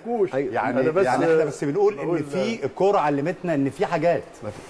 يعني في حاجات آه طبعاً، ممكن آه تحصل. طبعاً، آه بس- ممكن بيراميدز تكسب وتكسب في الآخر. يعني انت يعني أقصد ممكن الماتش يبقى سهل قوي وممكن يبقى صعب قوي. آه ممكن. على حسب حالة أيوة. اللعيبة وعلى ما هو حسب ده تع- أنت بتقول لاعب يخترق. لاعب بيلعب بدماغه. طب ما هو مش هيلعب بدماغه لما يجي له اوفر ما ما وهيخترق. هي الجوانب عنده آه طب الجوانب عنده بتساعد. والجوانب طب لو ما جالوش الأوفر هيلعب بدماغه إزاي؟ ولا حاجة. وأنا أنا أنا, يطلع أنا في الهواء يلعب آه. يعني أنا أنا كلاعب في بيراميدز لو أنا انت اللعيب متميز آه ما إحنا قلنا اللعيب مش إحنا قسناها هي- نظريا. بص الكلام أنا قلت نظريا مين يكسب؟ اللعيبة عندها حلول. يعني أنت عنده حل؟ وأنت مش يعني موجود. الجوانب أيوة. عندها حلول. عندها حلول إنها تعمل الاوفر والناس اللي بتلعب بالهيد عندها حلول إنها معلش. أنا متحيز أحيانا الفرقه الكبيره إما بتلعب مع فرقة لسه مش ملتزمة تكتيكيا بحاجة وبتلعب بس مش- أنا مش عايز أقول على فرقة طنطا. فرقة طنطا يعني شكلها كويس طبعاً، لا، بس ممكن بعض اللعب العشوائي في بعض. ظروف الماتشات. وده مقبول زي ما حضراتكم قلتوا إن في الأول ده الفرق مقبول. حضرتك يعني قلتوا حضراتكم قلتوا إن ده مقبول في أول طبعا أسبوع. آه طبعا طبعا. لسه ما جابش المستوى بتاعه فلسه ما عندوش بعدين أنا من طنطا يا كابتن اسلام أيوه عشان أحسن ناس. عشان كده عشان كده أنا قعدت عشان كده يعني. لازم أنا بحب الطنطاوية كلهم والله. ربنا يوفقهم. لا النادي صاعد ويعني من, من الثلاث نوادي اللي صعدوا هو الوحيد اللي حقق مكسب و- ونتمنى له نتمنى له طبعا التوفيق يعني. مدحت رمضان حبيبك يعني ومن طنطا آه. وشبير من طنطا أحسن يدعو علينا دعوه كده طيب آه، ممكن اتفضل. اتفضل طبعا. اتفضل. ممكن أقول حاجة أنا ولا؟ تؤمر ريحناك شوية. آه كابتن فتحي آه، آه، المباراة الثالثة وهي مباراة مصر المقاصة والزمالك. مصر المقاصة من الفرق الكويسة جدا اللي ماشية بشكل جيد. مع آه، مديرها الفني الجديد القديم. يعني هو أخذ آخر أربع خمس ماتشات آه، في ولا لأ السنة اللي لا، فاتت خدش، أعتقد ده لا ما خدش. ده لا، آه، ده هو ميدو ب- دايما الحقيقة من ال- من الناس اللي دايما بتبتكر من الناس اللي دايما بيطور بيطور الفرقة من نفسه. بيطور نفسه وبيطور الفرقة كمان. على الرغم من الأداء اللي أداه آه، آه، في آه، المباراة آه، آه، ال- أعتقد كانت مباراة الزمالك في الكاس. ما ما كانش بالظبط صحيح. الوضع كويس قوي ولكن عنده مجموعة جيدة جيدة مجموعة جيدة من اللاعبين. آه، نادي الزمالك في نفس الوقت عنده مجموعة جيدة من اللاعبين. هو كابتن بالنسبة لميدو ميدو عنده فكر آه. عالي عنده موهبة عنده ذكاء بيحاول يوصل الكلام ده لعيبته على قد ما هيوصل لهم على قد ما هيرتفع المستوى هو يوم ما أنا بلعب الزمالك ما كانتش لسه اللعيبة استوعبت ميدو عايز إيه. لأن عايزه وقت. لسه ما وصلش فكره. لا لا لم يصل. شغله الخططي ما بدأش. تمام. شغله البدني وصل إن قدر يرتفع بيه لكن شغل الخططي لم يصل. أما نادي الزمالك فنادي نقدر نقول هو المرشح للفوز مش بالنظرية. برضو إحنا نظري بنتكلم لأن فرقة لعبت ماتشات لعبة كاس ولعبة تصفيات ولعبة إفريقيا. عنده مجموعة لعيبة متميزين جدا عنده مدرب عنده أجهزة يعني تحس إيه؟ فرقة بطولة. يعني فرقة نادي الزمالك دلوقتي فرقة بطولة. هتلاعب فرقة المقصه المقصه فرقة آه، فيها كرة حديثة لو نفذت الفكر بتاع ميدو. هي طبعا مع ميدو دلوقتي آه، هتاخد وقت. يعني حتى المباراة نت... إحنا برضو ما شفناش آه. مباراة المصري والزمالك. أنا آسف ال- ال- المقصة مصر و- المقصه. واسوان. اللي كسبها المقصه آه. بس لكن كانت النتيجة 1-0 أسوان 1-1 المقصه 2-1 أسوان. أسوان. 2-2 المقصه 3-2 المقصه ثلاثة خ- لأن لسه لسه لم يس... يعني مثلا دلوقتي عنده الدور الهجومي حافظ. المدافعين لسه ما يحفظوا بدليل بيخش فيه جوال. آه. معنى يخش فيه جوال يبقى لسه التنظيم الدفاعي لم يكتمل. أيوة. وبالتالي حتى يوم مباراة الزمالك التنظيم الدفاعي لم يكتمل فالزمالك فاز. لكن ما قدرش إن هو يفوز يوم الزمالك أو يسجل يوم الزمالك لأن مدافعين الزمالك أو الالتزام الدفاعي فرقه الزمالك أو النضج الدفاعي الخططي لفرقة نادي الزمالك أعلى من فرقة المقصة. وبالتالي ما قدرش يجيب فيهم اجوال لكن دخل فيها جوال وما قدرش يعوضها مع أسوان دخل فيه جوال وقدر يعوضها. لأن عنده مهاجمين ثلاثة كمان. آه يعني عنده عنده مهاجمين وعنده لعيبة تقدر في في تعمل له في, فكره في غير في ال- في الصراع بينه وبين المدافعين الفرقه اللي قدامه. وفي حوار الكورة معاهم قدروا إنهم يعوضوا ويقدروا إنهم ينتصروا ويجيبوا جوال. لأن خبرات المخصه أعلى من خبرات أسوان وبالتالي فاز. مع الزمالك هي أنا هيجد صعوبه لأن الزمالك هيجد ولا مصر لا. المقصه المقصه هتجد صعوبة صعوبة الزمالك. هيجد هيجد صعوبة مع... بس مش هتبقى زي مباراة ال- الكاس أو المباراة الأولى هتختلف كليا لأن في تطور في أداء ابتدى الانسجام تقصد حضرتك مع. مقصه في تطور وفي أداء واستفاد والفرقة استفادت وميدو كمان استفاد إنه إزاي بيلعب آه، نادي الزمالك لكن لا ننكر نادي الزمالك إمكانيات لعيبته الفنية جيد المهاريه الفردية الجماعية أعلى بكتير من المقصه تمام. كابتن آه، عايز تضيف يا كابتن اتفضل برضه نفس القصة بتاعت ال- نفس ال- الفرق ال- ال- الكبيرة يعني الزمالك آه، أهلي آه، إسماعيلي مصري. ال- الفرق الصغيرة لما بتلعب قدام الفرق الكبيرة دي بيبقى الفرق الماتشات دي بيبقى التركيز الإعلامي عليها كتير شوية يعني الصحافة بتتكلم عليها التلفزيون بس المقصه بيذيع. يعني ما, بيعتبرش من. الفرق اللي. دايما في المتوسط دايما زائد إن هم زائد إن هم عندهم آه، لعيبة جيدين جدا جيدين جدا فبيطلعوا أنا أنا بتكلم على المقص هيطلعوا كل ال ال الكفاءات الفنية اللي عندهم قدام الماتشات ال- ال- ما هو دايما أي فريق دايما. أي فريق يا كابتن إبراهيم. بيلعب أهلي أو زمالك إحنا كنا بنسميها إيه كل حاجة. آه ماتش. الجل بيش- ماتش بيزيد الموسم آه. ال- الوقفة قدام المرايه بتزيد بتتلمع كويس. الجزمة بتتلمع كويس ده, ده الطبيعي على آه. فكرة أنا كنت بقى يعني كلنا كنا. بنعمل أنا شخصيا كنت بعمل كده يعني بلعب الاهلي رغم الزمالك آه، السنة دي شكل جديد آه، لعيبه لعيبة جيدين جدا في كل المراكز قدروا يستقطبوا آه، آه، مجموعة من اللعيبة كويسة جدا مدير فني على أعلى مستوى إنما الزمالك هيلاقي صعوبة في الأول هيلاقي صعوبة في بداية المباراة. لو ما تغلبش على الصعوبة دي في البداية هيلاقي هيلاقي مشكلة في الشوط الثاني يعني لو ما قدرش يكسب في الشوط الأولاني المقصة ويحرز أهداف عشان يقلل يعمل لهم عملية إحباط هيلاقي مشكلة في في- الشوط الثاني فأنا شايف إن ال- الماتش هيبقى صعب جدا على الزمالك في البداية. إنما لو لما تيجي تسأل لا الأفضلية هتبقى للزمالك في الماتش ده. آه، الزمالك اتفضل عايز تضيف. على نفس الماتش. أنا هتكلم عن؟ الماتش آه اسأل اسأل. أنا نفسي أسأل بس. قبل الإضافة على فكرة. صراحة مريحين النهارده أنا ممكن آخد أمشي. على فكره والله عادي مش هبقى وأنتوا تضيفوا لبعض فين يعني هو كابتن؟ كابتن فتحي هيتكلم. ما هقول لحضرتك حاجة الأسئلة بتاعتك جميلة. طب نعمل إيه؟ مش هقول عايزين لحضرتك نسيبنا حاجة. طيب. هقول لحضرتك حاجة. كابتن فتحي هيتكلم. حضرتك تضيف. وكابتن حشيش يضيف وبعد كده كابتن فتحي يتكلم حضرتك تضيف لا هتلاقينا قاعدين هتمشي كده. بص لو انت مشيت. لا طبعا يا انت اللي كابتن بتدي ال- ال- السن الأولاني. خلينا ده نسال من السنة كابتن هو, حشيش. هو فاتح الشهية اللي بيديك الفرصة إنك تتكلم. سلام يا كابتن فتحي هو ده بجد ده كتير عليا. والله يعني آه والله. كابتن حشيش عايز أسأل حضرتك برضو الزمالك الحقيقة عنده مجموعة جيدة من اللاعبين زي ما الكل متفق يعني. مجموعة جيدة من طبعا. اللاعبين على الأقل من الناحية الهجومية وفي وسط الملعب الدفاعي يعني ممكن نتكلم فيه شوية ولكن الزمالك بالشكل اللي هو بيلعب بيه ده آه، آه، بتبقى عنده بعض المشاكل في الناحية الدفاعية. تمام. آه، شايف إن مصر المقاصة ممكن يمكن استغلال الموضوع ده. برضو معلش أنا هعيد كل شوية أنا آسف إن أنا بقول هذا الكلام ولكن إن إحنا كل شوية عايزين لازم نقول إن إحنا مصر المقاصة وأسوان ما تزعش. تمام. ما شفناهوش. تمام. ف... فمش عارفين برضو مصر المقاصة هن... لو اتكلمنا عن المباراة الأولى بتاعت الزمالك ومصر المقاصة اللي كانت في كأس مصر لا مصر المقاصة كان بعيد خالص. تمام. بص أنا في رأيي المباراة دي هتبقى مباراة قوية. و... وأنا شايف إن إن اللي هي... اللي هيقابل صعوبات فيها هو نادي الزمالك أيوه مش المقص اولا أنا إحساسي وده رأيي شخصي. الزمالك اللي هيقابل صعوبات. آه أنا آه. ده رأيي شخصي. إن في ضغط عصبي شوية ونفسي على مدرب نادي الزمالك دلوقتي نتيجة لل ال... ال... الأحداث اللي هي ال- اللي فاتت ومباراة إفريقيا و و و. آه، من هنا هتبقى القصة صعبة بالنسبة له شوية. آه، مصر المقاصة لها تجربة مع الزمالك قريبة. أقرب تجربة ليها. هي مباراة الزمالك من ماتشين آه، أنا مش مع مقولة بقى إن ده ميدو عشان زملكاوي وبيدرب لا لا لا. لا, لا إحنا مش عايزين نتكلم الموضوع ده يعني. آه، ملوش يعني آه، ملوش. لازمة خالص بالظبط، يعني بالظبط. بالعكس في ناس تانية بتقول كده على الأ- لكن إحنا إحنا مش أنا. عايز أأكد يا إسلام. إن أي حد بيلعب ضد ناديه بيبقى عايز. يثبت نفسه قدام ناديه طبعا يعني غير المقوله بقى اللي بتقول أصل هيعمل لا ده خالص معلش يا يعني. كابتن، ظروف الكاس دي يعني حاجة تانية يعني فأنا آه، كل آه، واحد وتفكيره. بالظبط كده. آه، مصر المقاصه معاها مدرب كويس ميدو عنده دايما آه، أفكار جديدة. آه، هينفعه إن هو قابل نادي الزمالك آه، في المباراة الكاس لسه آه، كانت قريبة.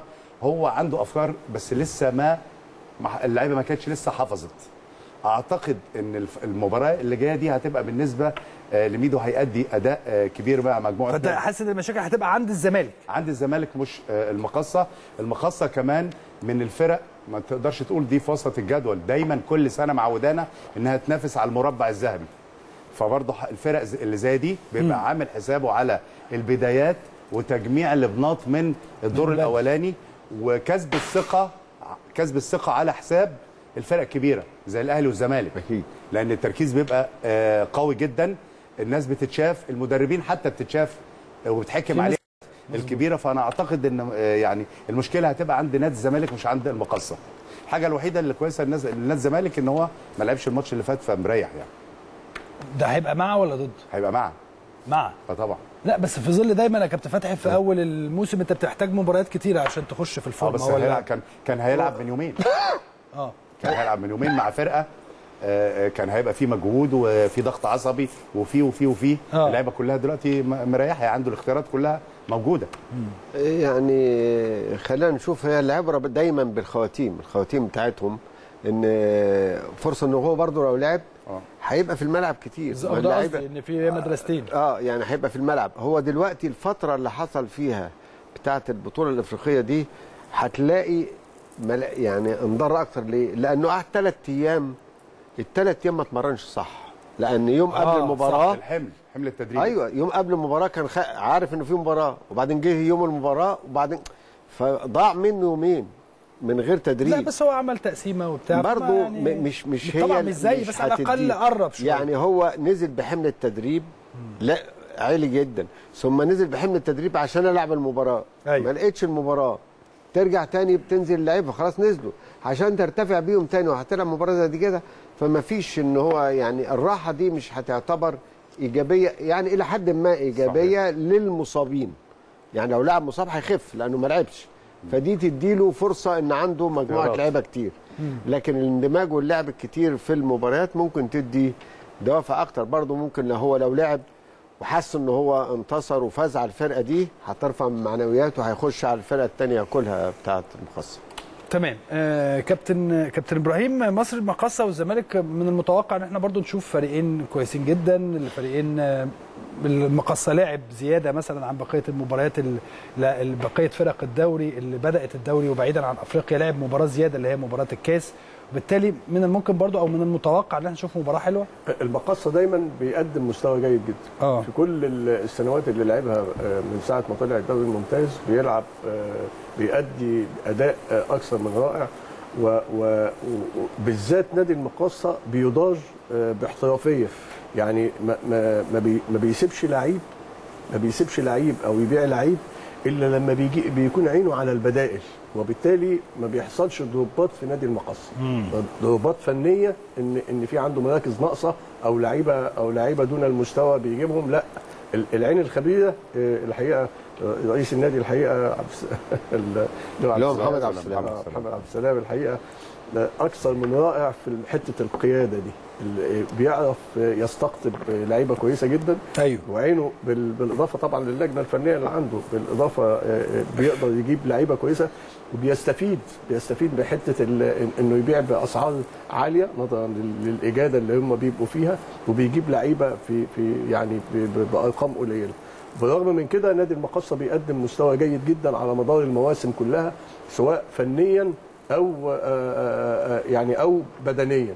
بيقدم مستوى جيد. فأنا شايف ان إن بكرة متفق مع الكابتن حشيش ال- الزمالك هيلاقي صعوبة شديدة جدا آه، آه، في- الماتش. برغم برغم باكد الزمالك السنة دي غير أي سنة ثانية غير أي سنة ثانية مجموعة اللعيبة اللي اللي جابهم آه، في الميركاتو الصيفي أو في الشتوي الحقيقة مجموعة من اللعيبة المتميزة جدا. جاب مجموعة هايلة قدر قدر ينظم صفوفه. وبالرغم من كده هيلاقي صعوبة جدا في ال- في- في ماتش المقصة ال- اللي جاي. لو ما قدرش زي وبأكد لو ما قدرش يسجل في الشوط الأولاني هتبقى آه، آه، آه، المشكلة عنده في الشوط الثاني مش هيقدر يحقق المكسب. حراسة المرمى كابتن في الفريقين أعتقد جيدة أحمد عادل عبد المنعم ومحمد عواد. أحمد عادل عامل موسم اللي فات وسامعين اسمه كان- مترشح للانضمام للمنتخب. كان يستحق إن هو فعلا ينضم لمنتخب مصر. آه آه كذلك عواد هو أساسا جون كويس بغض النظر طبعا الأهداف اللي دخلت فيه خلال الفترة السابقة سواء قدام الأهلي أو آه آه فرقة تانية إنما هو طبعا جون على مستوى آه عالي ومرشح طبعا يكون آه موجود في المنتخب. اللي أنا عايز أقوله برضو إن إحنا أغفلنا آه جزئية المنتخب. دايما الفرق اللي غير أهلي وزمالك بيبقى الاختيارات دايما أو العين بتبقى عليه في المباريات القوية. صح. اللي طرفها أهلي أو زمالك بيبقى الحكم عليه كويس إنه ده لعب كويس قدام نادي الزمالك لعب كويس قدام النادي الأهلي كويس قدام الإسماعيلي. المباريات دي اللي بتديه أفضلية عند الجهاز الفني بتاع المنتخب إنه ممكن يعني يبص للعيب ده غير ما بيلعب مثلا مع أي فرقة تانية. إحنا الطبيعي إن الأضواء بتبقى قوية على مباريات ال- اللي طرفها أندية كبيرة. ففرصة النادي المقصه أو لعيبة نادي المقصه إن هم يظهروا برضو إمكانياتهم قدام فريق قوي خصوصا في ظل وجود جهاز. فني جديد بالظبط كده بالظبط للمنتخب. يعني الوطني. للمنتخب طبعا طبعا عموما من الإسماعيلي والمصري وطنطا وبيراميدز ومصر المقاصة والزمالك هنروح لمباراة آه، الأهم بالنسبة لنا آه، مباراة الأهلي والإنتاج إن شاء الله اللي هتبقى بكرة إن شاء الله في تمام الساعة الثامنة ما تنسوش بفكر حضراتكم إن إحنا هنكون مع حضراتكم بكرة في تمام الساعة السادسة ساعتين ما قبل المباراة كل كواليس المباراة وكل ما يحدث في آه، فندق آه، الإقامة كل ما يحدث في آه، أتوبيس الإقامة أو أتوبيس اللي بي... أتوبيس إقامة إيه؟ أتوبيس اللي بينقل اللاعبين. من فندق الإقامة إلى الاستاد. كل حاجة حضراتكم بتشوفوها من خلال دايما قناة النادي الأهلي. هطلع أشوف تقرير عن استعدادات النادي الأهلي لهذه المباراة الهامة جدا. تاني مباريات آه، النادي الأهلي في الدوري العام المصري. وبعد هذا التقرير فاصل وبعد الفاصل هرجع بقى نتكلم عن المباراة الأهم في هذا الأسبوع. الأهلي يواجه الإنتاج. أهلا وسهلا بحضراتكم مرة أخرى أعزائي المشاهدين. كابتن فتحي كابتن إبراهيم كابتن حشيش عايزين نتكلم بقى عن مباراة الأهم بالنسبة لنا هي مباراة الأهلي والإنتاج. مباراة مهمة آه، قائمة آه، تضم لاعبين الحقيقة كله آه، مكتملة الصفوف تقريبا باستثناء مروان ومحمود متولي. بتكلم على الإصابات. رأي حضرتك أساسا آه، اولا في مباراة غدا إن شاء الله. هذه المباراة الصعبة جدا كل سنة أو في معظم السنين على الأقل. يمكن دايما تعودنا مع الإنتاج. إحنا الموسم الماضي لعبناهم مرتين. الدور الأول 0 0 وما ننساش ضربة جزاء أزارو الشهيرة اللي ده الكل بيتحكى بيها. ده الناس بتاخدها ك بالنسبة لها كمثال آه، بالظبط. في آه يعني. الحكم الخامس ده اللي هو كان موجود على. الحكم الخامس. وكسبنا إحنا في الدور الثاني عمرو السلية في الدقيقة 49 أفتكر آه 1 0 يعني مباراتنا مباراة قوية. هناك ما ننساش إن فيها مدرب اسمه كابتن مختار مختار. طبعا. مختار مختار راجل كوراجي بتاع كورة. آه، اتعلم خد دراسات وفاهم كورة. ومن من صغره مختار يا كابتن اسلام وهو مخه دايما دايما يشتغل دايما يشتغل ويطور أيوة. ويفكر ويعمل. وبياخد لعيبته ويحاول يأقلم أسلوب لعبه وطريقة لعبه على اللعيبة اللي عنده. مش في دماغه طريقة يقول لك أنا هلعب كده وخلاص. فعشان كده دايما مختار بينجح. آه، مع النادي الأهلي اللعيبة دي حاسة إنها في معرض النهارده والمعرض أنا لازم أعرض أحسن حاجة عندي عشان أزود سعري. بغض النظر عن انه بيلعب في الإنتاج أنا عايز أزود سعري في هذه المباراة. فدوافع اللعيبة هناك عالية جدا جدا. بغض النظر إنهم إيه هيلعبوا دوري ولا هيخشوا مربع الذهبي ولا مش مربع ذهبي هم عاوزين النادي الأهلي. نفس الحكاية عند الكابتن مختار راجل فير جدا مش عشان هو من النادي الأهلي هيسيب المباريات بالعكس. آه، آه، مختار. يعني خلينا نتعدى النقطة دي. لا عشان الناس برضو دايما بيتقوا على دي وإحنا بنعيدها لهم.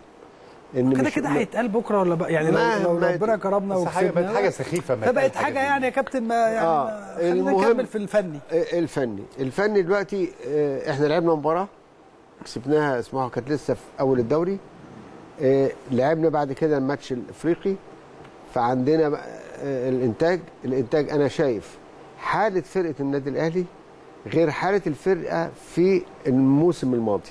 تمام. الشكل متغير كليا في الأداء في الأسلوب وكده. أما الغيابات أنا ما بعتبرش دلوقتي النادي الأهلي عنده غيابات. في غيابات لكن ما بعتبروش يعني إيه, إيه هتحيرني ما فيش غيابات. لا في غيابات في مش موجودين. لكن النادي الأهلي أصبح لعيبته دلوقتي كلهم بعد ما عمل لهم. هذا المدرب اشتغل وكد فرصة لكل واحد فيهم هيختار أي 11 قادرين على إنهم ينفذوا فكره وفكره بقى واضح جدا الاستحواذ دي أهم حاجة. السرعة ودي حاجة مهمة جدا القوة هي دي كرة القدم الحديثة. وبالتالي الاستحواذ يعني كرتي ما افقدهاش لغاية ما اوصل للجول. وشفناها بتتنقل كتير وبنضيع جول كتير قوي منها. ولو تلاحظ معظم اجوالنا في المباراة السابقة والسابقة والسابقة من أول مباراة حتى من أول مباراة السوبر كل الأجوال عندنا أجوال مصنوعة.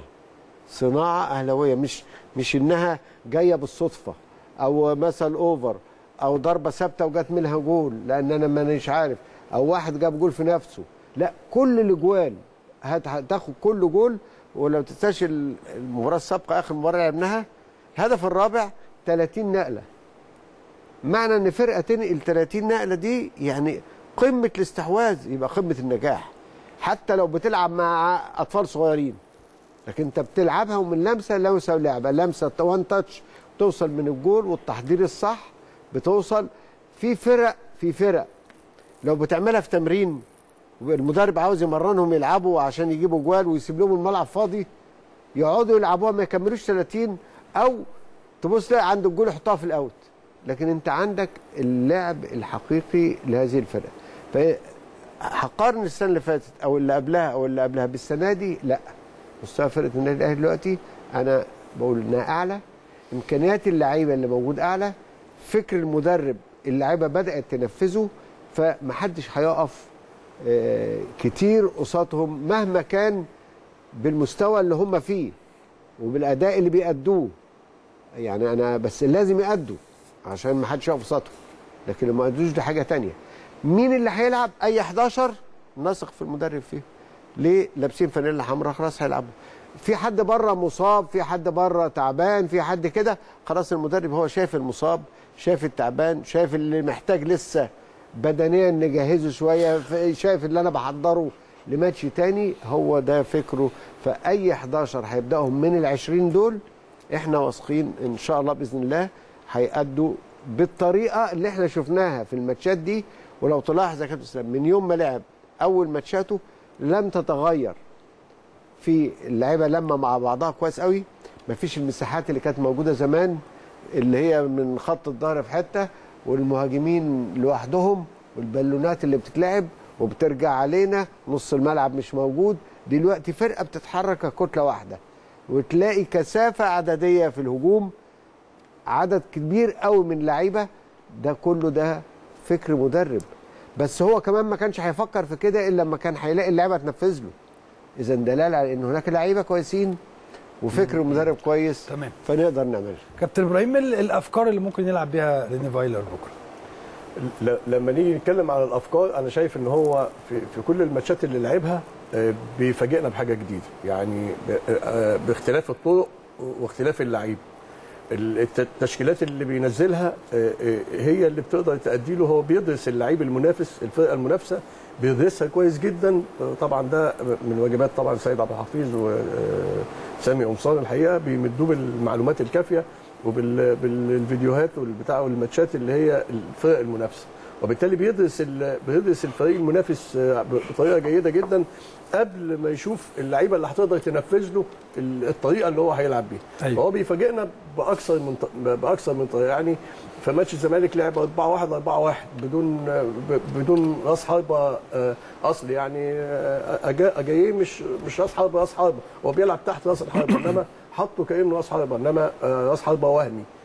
وقدر فعلا يسجل جونين. إنما بيفاجئنا بكل كل ماتش بطريقة شكل واللعيبة بتقدر تنفذ له الشكل اللي هو بيلعبه فهو أنا شايف إنه ال- الماتش الأخراني هيريح فيه بعض اللعيبة لأن هو ماشي بحتة ال- التباديل والتوفيق يعني بيلعب اللعيبة دي النهارده وفي عينه على الماتش اللي بعد كده بيريح دول وبيعمل لهم استشفاء وبيقدروا يعملوا مثلا ضربات ثابتة وبيجهز الفرقة في دماغه إنه مجهز لعيبة تانية تلعب ماتش الإنتاج.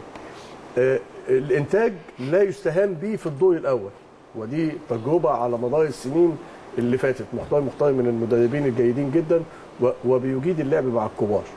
ال- الدور الأولاني الإنتاج دايما لو تراجعوا ال- المواسم السابقة بيأدي أداء فني على مستوى عالي جدا بيحقق آه، آه، آه، مجموعة من النقاط كبيرة جدا بيحصل له ال- الدور الثاني بيحصل له هبوط في المستوى ودي طبعا يسأل عليها بقى الإدارة أنا مش هدخل فيها إنما بيحصل له هبوط في المستوى. فأنا قصدي إن لا يستهان بالإنتاج في في الماتش اللي جاي. هيأدي أداء جيد جدا.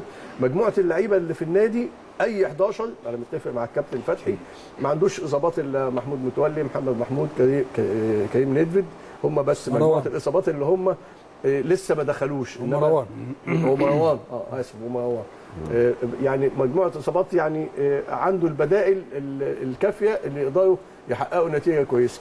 أي 11 ينزلوا أي 11 ينزلوا إحنا طبعا هتسألنا على التشكيل المناسب في الآخر أنا عارف إنما أنا بقول أي 11 ينزلوا هي- هيأدوا أداء جيد جدا وعندهم الدوافع الدوافع الكافية جدا. يعني ماشيين في أفريقيا كويس دلوقتي.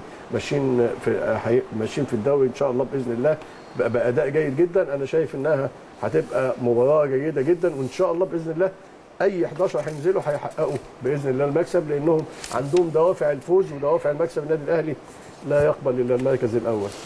يعني آه، تشكيل الإنتاج يا كابتن حشيش في المباراة آه، الأخيرة أمام إف سي مصر. تقريبا بشكل كبير آه، هو ثابت على الأقل من ناحية آه، آه، من الناحيه الدفاعية. تمام. الإنتاج بيلعب دايما كابتن مختار يعني بيلعب دايما بكم يعني قريب قوي من بعض. Compact. آه مقفول compact كده. وبيعتمد على الهجمات المرتدة دائما وعنده اللي بينفذها بشكل جيد جدا سواء محمد فيرا اللي كان بيلعب في بتروجيت قبل كده ومامادو نياس ده وموسى ديا- دياورا ثلاثة افارقه من أمامهم محمد رجب ده تشكيل طبعا نادي الإنتاج أمام FC مصر. وامامه محمد رجب واحد من رؤوس الحربة المشاغبين. طبعا. آه، آه، آه، النادي الأهلي آه، يجب أن يتدارك الموضوع ده إزاي؟ إحنا طبعا لو شفنا تشكيل الإنتاج الحربي في المباراة ال- السابقة آه، كابتن مختار بيلعب 4 2 3 1 أيوه.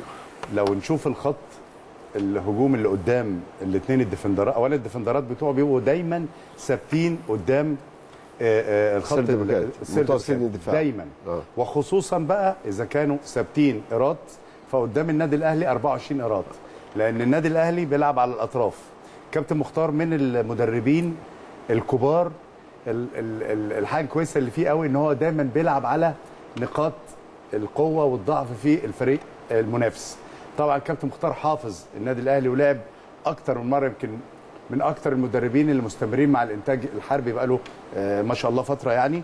فحافظ النادي الأهلي كويس قوي. آه، آه، ال- ال- الخطورة بتاعت مباراة بكرة إنه دايما كابتن مختار بيلعب دفاع من تحت بيسيب النادي الأهلي يستحوذ وبيخلق دايما مساحات عن طريق محمد رجب للثلاث طيارات ال- اللي تحتيه والثلاثة الأفارقة. عندهم سرعات عالية جدا جدا بيلعبوا دايما على آه، آه، في الم- في المناطق اللي هي ورا الأجناب بتاع النادي الأهلي إذا كان هيلعب محمد هاني أو معلول هيلعبوا آه، وراهم بسرعات عالية جدا جدا. عشان كده النادي الأهلي بكرة لازم يبقى عنده برضو الديفندرات على مستوى عالي من السرعات كمان عشان يجابه السرعات الكبيرة بتاعة فرقة الإنتاج الحربي. أنا لو شفت قائمة النادي الأهلي يا كابتن فتحي يا كابتن إبراهيم راجعتها كده لقيتها هي هي بالظبط القائمه بتاعه آه، آه، مباراة سموحة باستثناء طبعا مروان محسن لأن مروان محسن طبعا عنده إصابة إنما. أيوه. كل اللي موجودين ما كانوا موجودين في سموحة هل الراجل الماتش اللي فات لعب بعض العناصر اللي ما شافهاش قبل كده أو اللي ما كانتش بتاخد فاداها في ماتش إفريقيا على اعتبار الماتش آه، على أرضنا والنتيجة الأولانية سمحت له إن هو يجرب بعض العناصر وهيرجع تاني للعناصر. مش هنقول الأساسية لأن كله أساسي أو اللي هو مقتنع بيهم. آه، آه، وفي الدوري المحلي وبداية من مباراة سموحة هيرجع لنفس آه، التشكيل. دي حاجة هنشوفها طبعا بكرة. بس ايا كان اللي هيلعب أو ايا كان التشكيل لازم يعني الحتة اللي إحنا بنقول عليها بتاعت ال- الأطراف أو الحتة اللي ورا معلول بالتحديد أو محمد خلف الباكين. خلف الباكين. لأن أنا أعتقد إن برضه هو ما عندوش باكين بيتقدموا بشكل كبير. آه، أحمد شديد قناوي برضه ما بقاش أحمد شديد اللي هو من أكتر من سنة. بقى بيلعب من تحت شوية بيلعب الأوفرات من تحت تحت شوية. آه، راس الحربة بي- بي- بيضم وبيسيب مساحة لحد من ثلاث مهاجمين بيروح في المنطقة اللي هي آه، الفاضية. سيد الشبراوي قليل برضه في موضوع الهجوم وخصوصا إن هو بيلعب ناحية شمال النادي الأهلي وشمال النادي الأهلي من الاجناب القوية جدا آه، طبعا بتاعه آه، آه، معلول ورمضان صبحي. لو الاثنين هيلعبوا وأنا يعني أعتقد إن هم هيبقوا موجودين.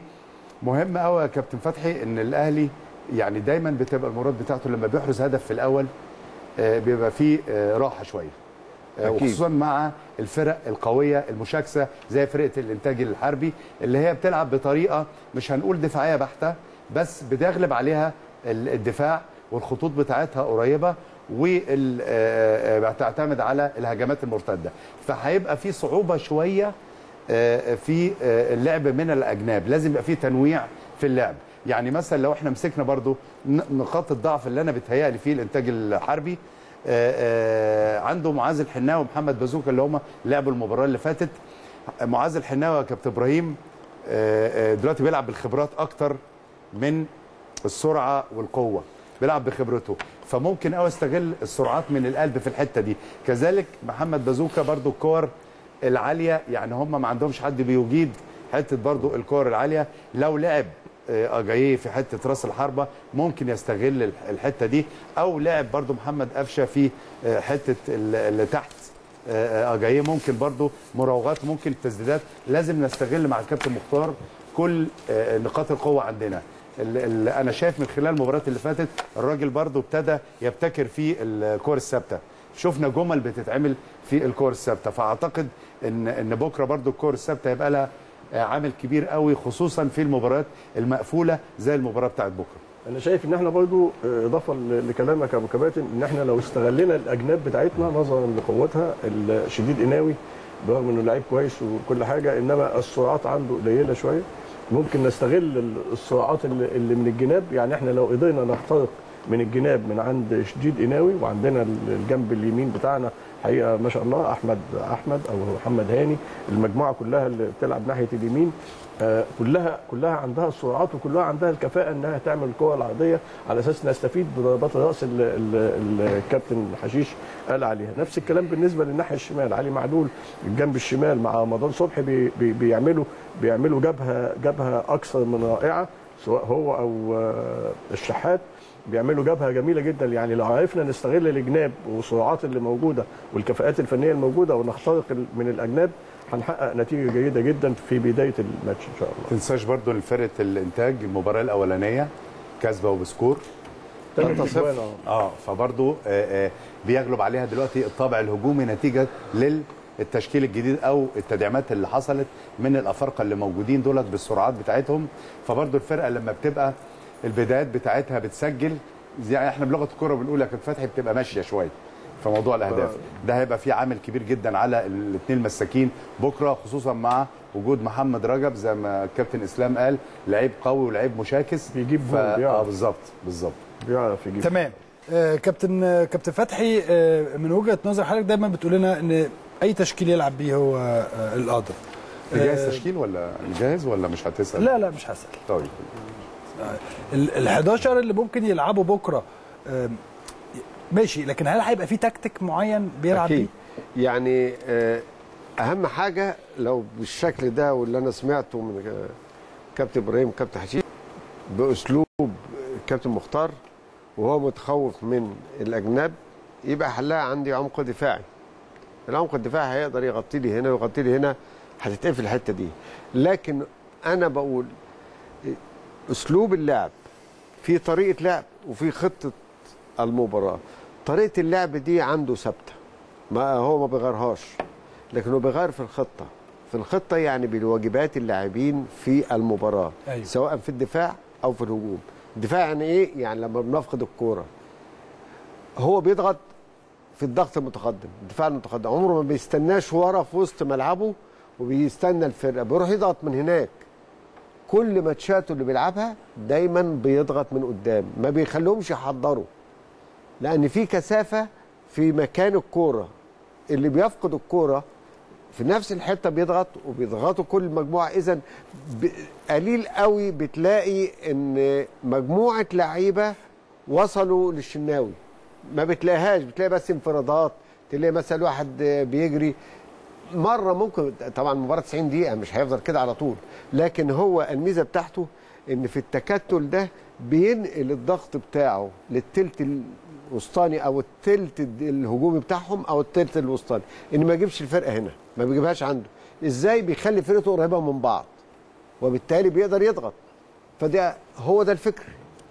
معنى إن هو بيضغط ضغط وبيقدر قريب من بعض مهارة اللعيبة للاختراق. طيب ما اخترقوش هم لمهم ولقى المساحة في ظهرهم خالية زي ما الكابتن حشيش بيقول إنها إحنا نتدرب بيها. هو بيعملها وشفت الماتشات اللي فاتت اجوال جت من ورا الاجوال من من الحتتين دولت إزاي؟ لما بيضغطوا عليك. هو أي فرقة هتلعبه دلوقتي؟ أي فرقة؟ وبعدين ليه بقول أي 11 لأن هو جرب ال 11 في واجبات هي هي نفسها. يعني شفنا مين باك شمال الماتش اللي فات هو أكن علي معلول بالظبط بيلعب بيمشي إزاي و و وصلنا لفين وصلنا لل 18 إزاي بتعمل وما تحسش إن هو ده متغير لما كان بيلعب ناحية الشمال. نيجي ناحية اليمين نفس القصة هاني بيلعب أو أحمد فتحي بيلعب. هي هي الواجبات هي هي نفس الكده نفس الفكر. الفكر واحد وهو ما بيغروش حفظ جميع اللعيبة. تمام. فاذا لما هيختار أي 11 أنا واثق إن أي 11 هينفذوا هذا الكلام. وأكتر ما بتضغط على أي فرقة آه، بتبقى فيها رزالة. يعني بتضايق الفرقة اللي قدامك ما بتخليهمش يحضروا صح. طب لو ما حضروا صح مش هيوصلوا للجول.